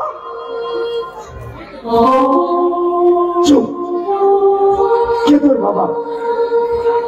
একটা চোর গুন্ডা বদমাসের বাবা বিনয় সারা জীবন দরিদ্রের সঙ্গে লড়াই করেছি। কিন্তু কোন মানুষের একটা পয়সা ঠকিয়ে নেই নেই। আর তুই তুই আমার সন্তান হয়ে। সৎ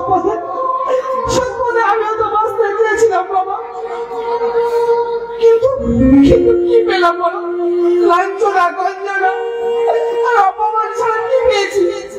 শুধু দুঃখ। তুমি বাবা হয়ে আমাকে বুঝতে চাইলে না আমাকে বুঝতে চাইলে না। আমি কি আমি কি ইচ্ছে করে এই পথে ভেবেছি বলো বাবা? বলে? না।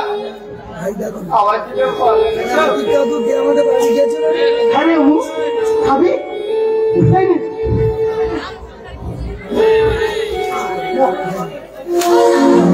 পয়সা তোর বাপের পয়সা ওই ফল খাবে না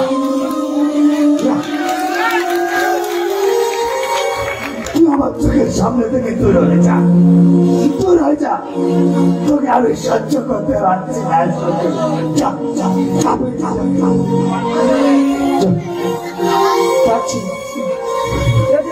আমি তোমার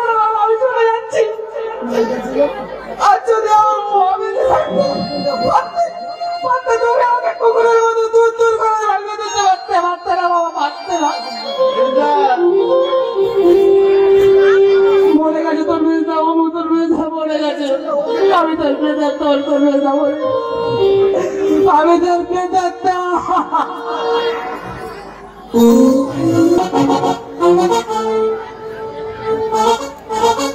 তুই কি করছিস চিন্তাই করবি? হ্যাঁ এই দিন দুপুরে চিন্তাই করব। ভয়টা কিসের শুরু তোমার? তুমি না করতে চাও তুমি বাসায় চলে যাও। আমি একা এই কাজটা করব আমি একা। এই তোর এই ভাবটা আমার একদম পছন্দ ভাবের জন্য এই আটটা ধরা পড়ল। আটটা ধরা পড়ে এই জনতার হাতে খেয়েছি। কিন্তু কিন্তু শীতল দত্ত মরার আগে দু চারটাকে সামাল করে দেবো শীতল হীনমন্যতায় ভুগে ভুগে আমি আর বাঁচতে চাই না। আমি আর বাঁচতে চাই না। আমি আমি হাউসের মতো জ্বলে উঠে কি হবে কি হবে এই দিন করে হয়েছে বলতো তোর আপনার কিছুই হয়নি কথা বলেছিস সে এখন কেমন আছে রে জানি না বললি দাও আমি ভাইকে দেখতে যাব পয়সার অভাবে তার বলেছে? কে বলেছে আমার ভাই আছে? কেউ নেই আমার, কেউ নেই আমার, কেউ নেই। মা, বাবা, ভাই, বোন আমার কেউ নেই। আমার কেউ নেই, আমি একা। আমি শুধু একা। পৃথিবীর বুকে, এই পৃথিবীর বুকে আমি আগাছার মতো জন্মেছি। কেউ নেই আমার কেউ নেই কেউ নেই আমার। শীতল শীতল। তুই কাঁদছিস? জানি না। তোর বাড়িতে সেদিন কি হয়েছিল? যাই আমার অবস্থা নিশ্চয়ই তোর ভাই জানিস, আমি পাঞ্জাবি নই। আমি একজন বাঙালি। বিয়ে পাশ করে চার বছর বেকার ছিলাম। কত চেষ্টা করেছিলাম। চাকরি পাই। সারাদিন অফিস পাড়ায় ঘুরে ঘুরে বেলা চারটের সময় বাড়িতে এসে খেতে বসেছি। বাবা এলো। এসে বললেন বাবার ঘরে বসে খেতে তো লজ্জা করে না। চাকরি না পাস বলে ধরে দিও আমার আমার ঘরের সাথে কিছুটা লাঘব হবে। সর্দার সেদিন আমার কি হয়েছিল জানি না। বাবার কথায় আমি প্রতিবাদ করেছিলাম। বাবার মুখে মুখে আমি বললাম, বাবা অমন করে তুমি বলবে না, বলে দিচ্ছি। বাবা ফুটবলের মতো ভাতের থালাতে লাঠি মেরে ভাতের থালাটা ফেলে দিল। সকাল আমিও সঙ্গে সঙ্গে দাঁড়িয়ে উঠলাম কি করছ মানে মা কেঁদে উঠবে মাথা নিচে করে সেই যে বাড়ি থেকে আমি বেরিয়ে এলাম। আর যাই। আর আমি যাইনি তুমি কাঁদছো সন্তান তুমি কাঁদছো সন্তান তুমি কেঁদো না না রে পাগল। না। কিন্তু কি হবে? পৃথিবী কান্নার দাম দেবে না রে। কান্নার দাম দেবে না। তাহলে তাহলে কি হবে চোখের জল ফেলে যতদিন বেঁচে আছি তারপরে একদিন পুলিশের গুলিতে না হয় হাতে মার খেয়ে সব খেয়ে জ্বালা নিষ্পত্তি। সন্তান সন্তান তুমি বাসায় যাও আমি একটু পরে আমি আসি তুমি যাও সন্ধ্যের আগে তুই কিছু করবি না তো বাবা তুমি যাও না, বললাম তো করব না, যাও দেখিস ভাই। এই আত্মার সেদিন ধরা পড়ল? তুই আমার তুই আমার সম্বল? তুই ধরা পড়লে? আমার আমার প্রচুর ক্ষতি হয়ে যাবে আরে বাবা তুমি যাও না বলছি তো আমি কিছু করব না বাবা করব না তুই তুই তাড়াতাড়ি আসিস।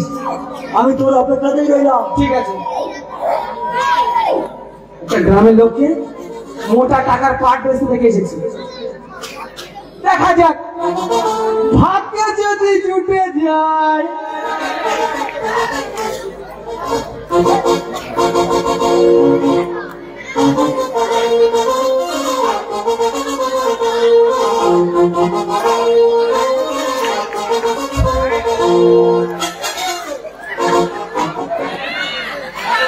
এই এই শুয়োরের বাচ্চা। এদিকে আয়। এদিকে আরে শুয়োর বাচ্চা এদিকে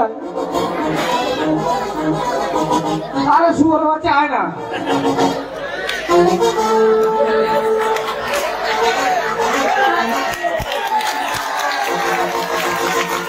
ভাই এইবার তো লাইক করো। আচ্ছা তোর আমি দেখে নেব। পাঁচ মিনিট সময় দে তোর আমি দেখে নেব শুয়োর বাচ্চা। এই যে বসাই শীতল বাবু। কোথায় গিয়েছিল। একটু বাজারে গিয়েছিলেন লক্ষ্মীবাবু আপনি কোথায় যাচ্ছেন? এই বাজারের দিকে যাচ্ছি। আচ্ছা ওষুধ কার জন্য? আপনার বাবা? না না। বাবু সুস্থই আছে। আসলে ছোট ভাইটা টাইফয়েড হয়েছে তো।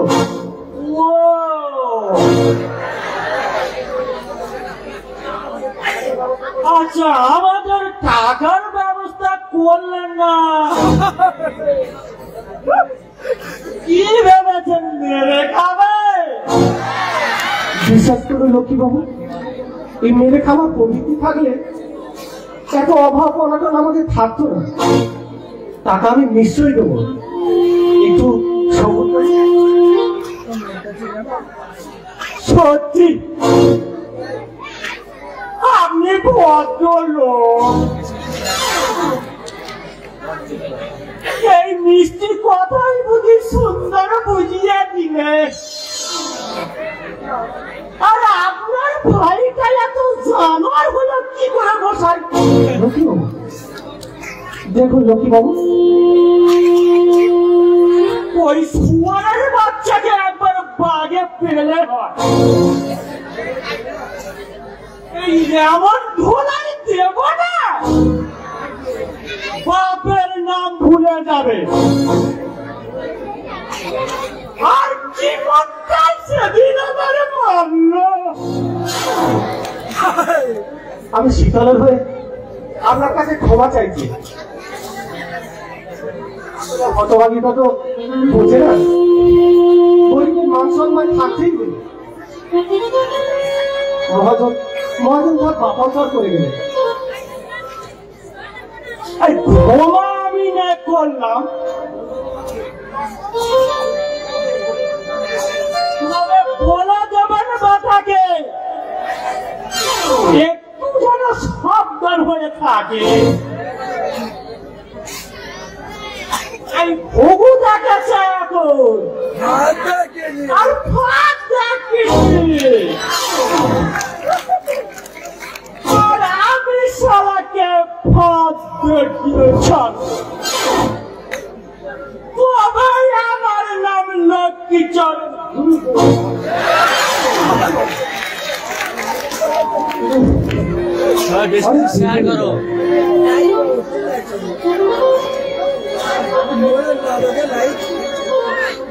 দাও পালাবার চেষ্টা করলে গুলি করে দেবো। শালা চোর।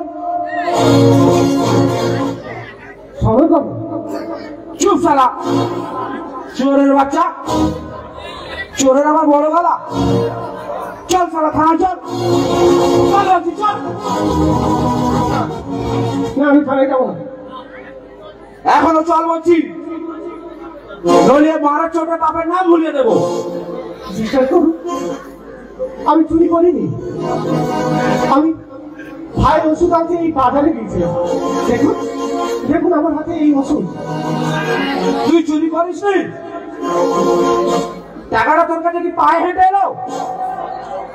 গুলমার বাড়ার লোক পাসনি? আমি এখানে দাঁড়িয়ে ওই লক্ষ্মীবাবুর সঙ্গে কথা বলছিলাম একটা লোক দৌড়ে পালাচ্ছিল। সে টাকাটা আমার হাতে দিয়ে চলে গেল। লোকটাকে চেনো তুমি? কি রে শালা? জবাব নেই লোকটাকে চিনিস? না। নিশ্চয় চিনিস। ও তোদারি দলের লোক চল থানায়।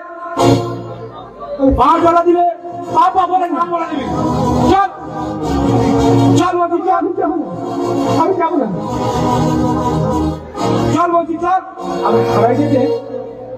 আমি যেতে আমার আপত্তি নেই। কিন্তু কিন্তু আমার এই ওষুধটা না নিয়ে যেতে পারলে আমার অমুকে মারা যাবে। তোদের মতো জানোয়ার পৃথিবীতে না থাকাই মঙ্গল। দেশটাকে একেবারে জ্বালিয়ে পুড়ে মারলে। এখনও ভালোই ভালোই বলছি চল। এখনও ভালোই ভালোই বলছি চল। না আমি যাব না। চল বলছি চল। চল বলছি।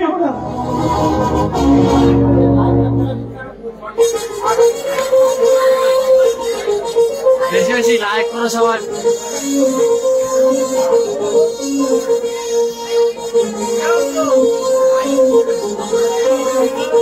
নাটকটা সবাইকে বলছি ভাই, বেশি বেশি শেয়ার করে দাও।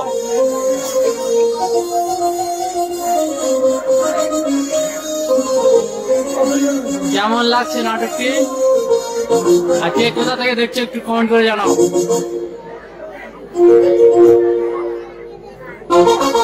শীতল শীতল, শোন শীতল, শোন। আমি ভগবানের পায়ে শপথ করে বলছি আমার ভাইয়ের মৃত্যুর প্রতিশোধ যদি না নিতে পারি আমি জীবন দাঁড়িয়ে ছেড়ে দেবো শীতল চলে যাচ্ছে হত্যা মুখে চলে যাচ্ছে। আমার মুখটা পুড়ে ছাই হয়ে যাচ্ছে সদা আমার মুখটা পুড়ে ছাই হয়ে যাচ্ছে। আমার আম্মু আমার আম্মু বিনা ওষুধে বিনা চিকিৎসায় দুঃখে দুঃখে মারা গেল। এক ফুটা এক ফুটা ওষুধ আমি আমি দিতে পারলাম না। কি হবে? জীবন থেকে? কি হবে সন্তান। কি হবে বলো?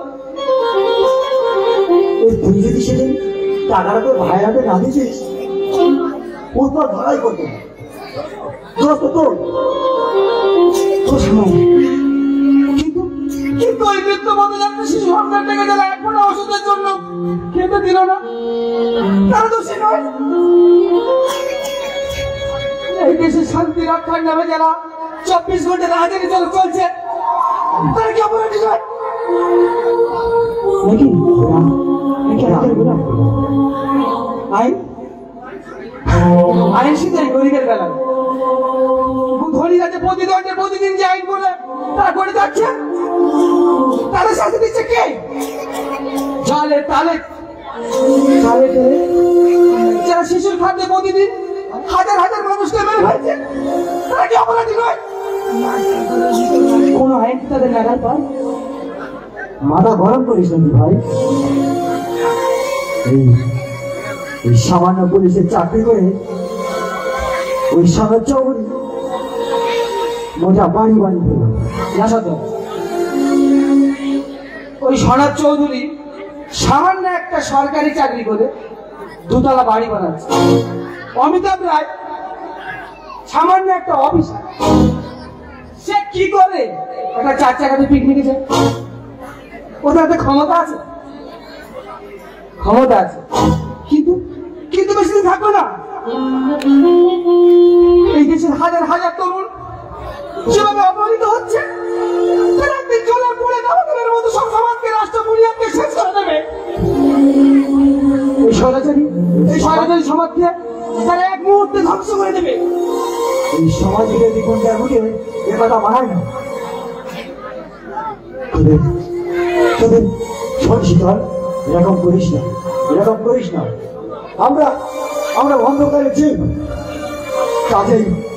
তাদের যত ভালো কথা বলি না কেন আমরা?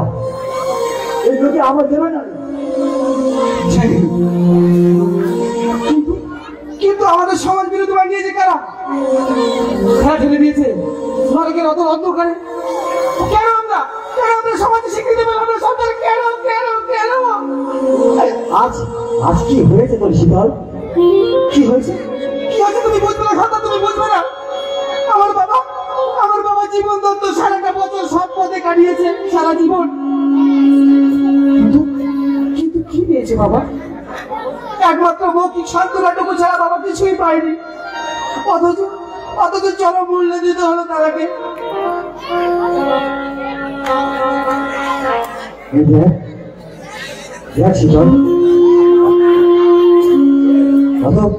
মাথা গরম করিস না ভাই। আমাদের যা করতে হবে। ভেবে চিন্তেই করতে হবে।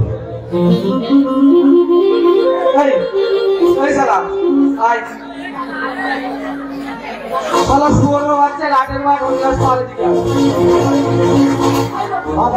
আয়। না।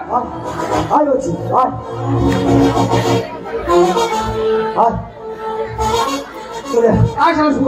আমাকে ডেকেছেন বাবু আরে বাবু না রে, শুয়োরের বাচ্চা, বল বাপ, একটু আগে বাবাটা গেছিস, আয়। বল বাপ রে, শুয়োরের বাচ্চা, বাপ।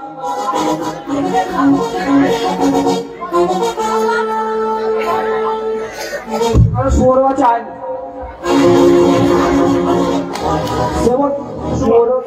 তোমার বাবু আমার কোনো দোষ নেই। আমি তো হুকুমের গোলাম। তোর গোলামের জীবনটা যদি শেষ করে কোন বাপ তোর বাঁচা বলে শুয়োর বাচ্চা বল না শুয়োর বাচ্চা বল। কোন বাপ তোকে বাঁচা বল না শুয়োর বাচ্চা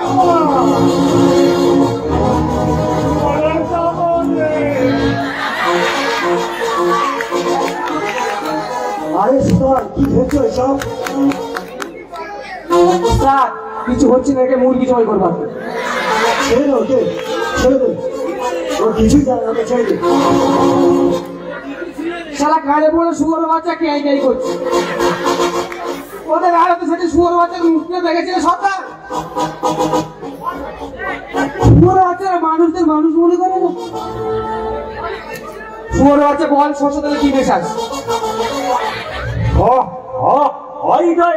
জানে।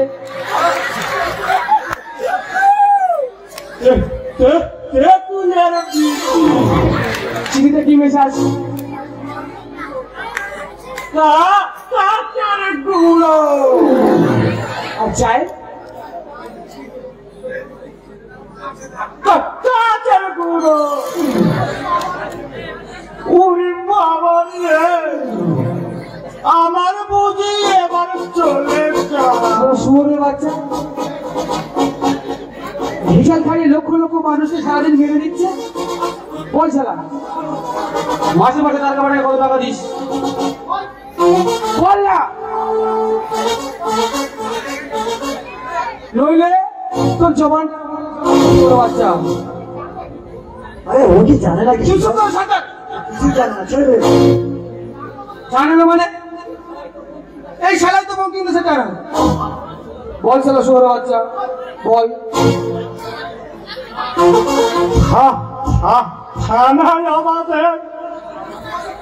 মাসে মাসে দু হাজার টাকা দিতে আচ্ছা। শুনলে সত্তা শুনলে? হ্যাঁ তাই তোই শুনলাম।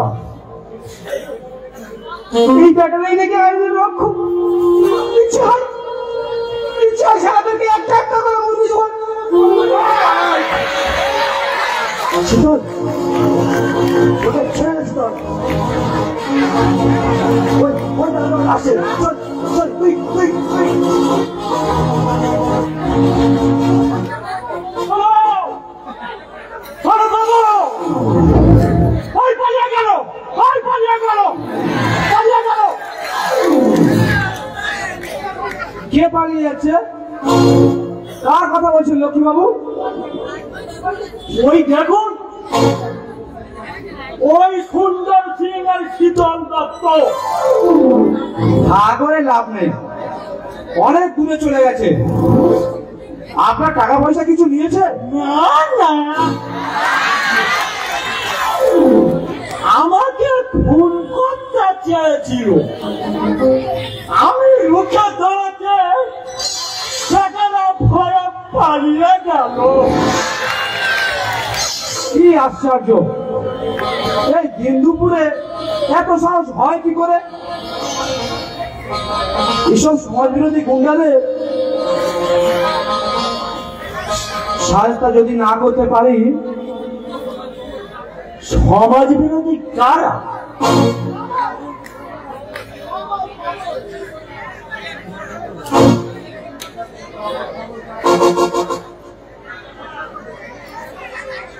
সমাজ বিরোধী কারা বড় বাবু এই ছাড়া দিন দুপুরে চিন্তাই করছে। এরাই চিন্তাই করছে পেটের জ্বালায়। আর আমরা সাধারণ গরিব লোক, খেটে খাটা লোক, আমরাই মরি সুখ যদি এসেছিল চলে গেলে কোন জনমে তুমি প্রতিশোধ নিলে। ভেঙে গেল ভোলাম যা যাব আমার ভেঙে গেল ভোলাম যা যাব নিয়ে থাকব জীবনে কি পেলাম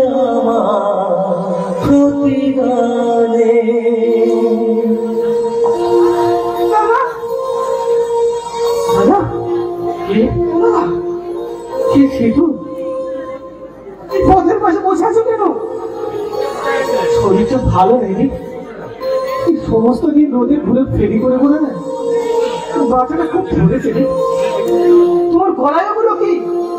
চেরেঙ্গা চেরেঙ্গা আর মাজানের বিক্রি করছি রে। আর কি করব বল? তুমি তুমি ফেরিওয়ালা করছ, দাদা? কি করব বল? একটা কিছু করে তো পেটের গর্তটা বোঝাতে হবে বল। কেন তোমার টিউশন কোথায় গেল দাদা।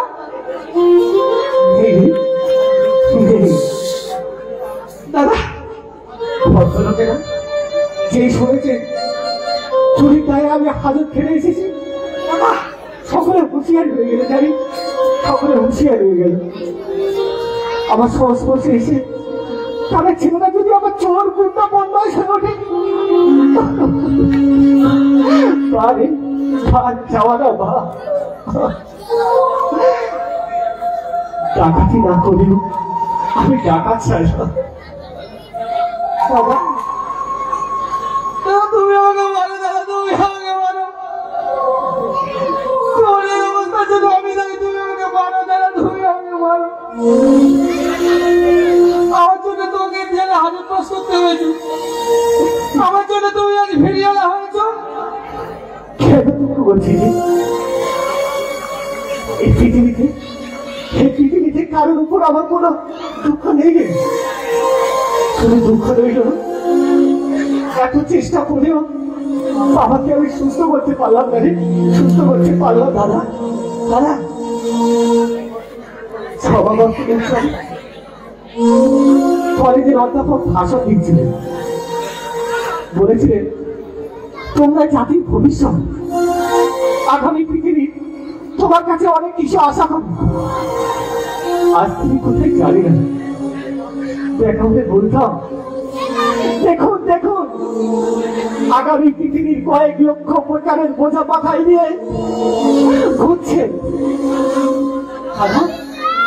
দাদা? দাদা, তুমি চুপ করো, দাদা, তুমি চুপ করো। এইসব কথা শুনলে আমার স্থায়ী দৌদ উত্তেজিত হয়ে ওঠে। এই রাষ্ট্র, এই সমাজ এই সমাজের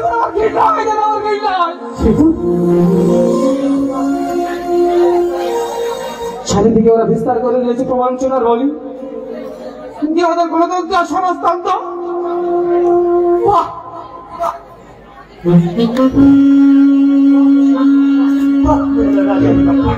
বাবা বাবা বাবা।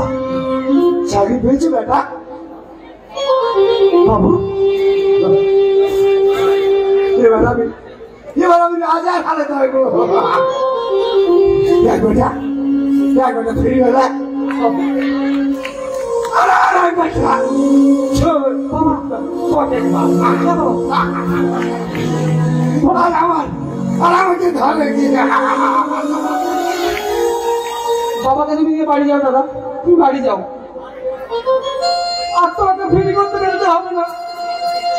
এবার থেকে আমি চেষ্টা করব সৎভাবে জীবন যাপন কি বল- সৎভাবে জীবন করবে।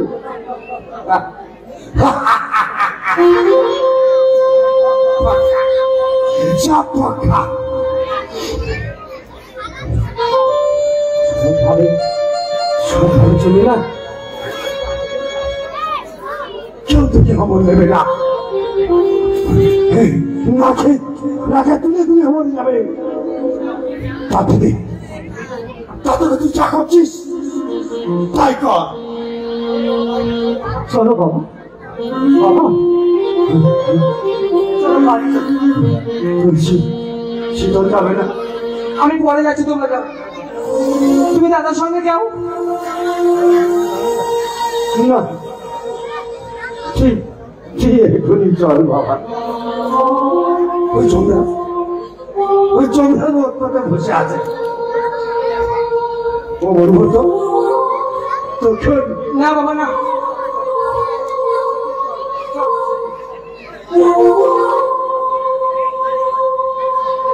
দাদা দাদা তুমি যাও না তুমি চলো তুমি দাঁড়িয়ে রে।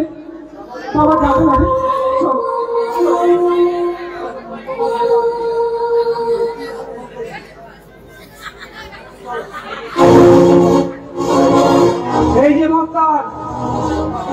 ওদিকে নয়। আমার সঙ্গে থানায় যেতে হবে। দেখুন ভুল একটা কথা নয়। চুপচাপ চলে এসো। আমি কথা দিচ্ছি, স্যার। আর কোনোদিন ওই শীতলা খারাপ পথে যাবে না। একটা বার ওকে সুযোগ দিলে, স্যার। সাক্ষী মাতাল। একে নিজের নামে কে শুনছে? আবার উনি হবে ওর জামিন আমার কেসটা যে মিথ্যা, সেটা আপনি ভালো করেই জানেন ফালতু কথা একদম বলবি না। থানায় ওকে যেতেই হবে। যদি না যাস, যদি না যাই তোর বাপ যাবে। তুই তো ছেলে মানুষ। বাজে কথা বলবেন না মশাই। চুপ সালা। চোরের আবার বড় গলা।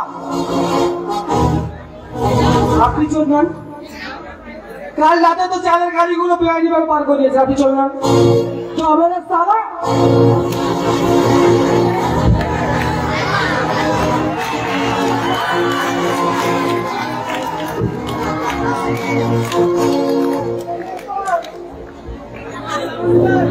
সালা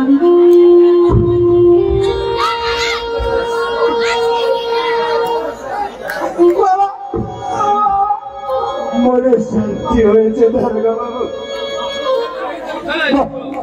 বাহ! বাবা বাবা ধন্য ধন্য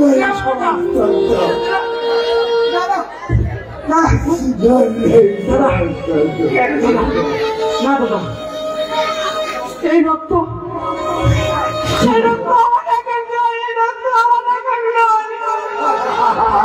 শত বলতে শত রক্ত এই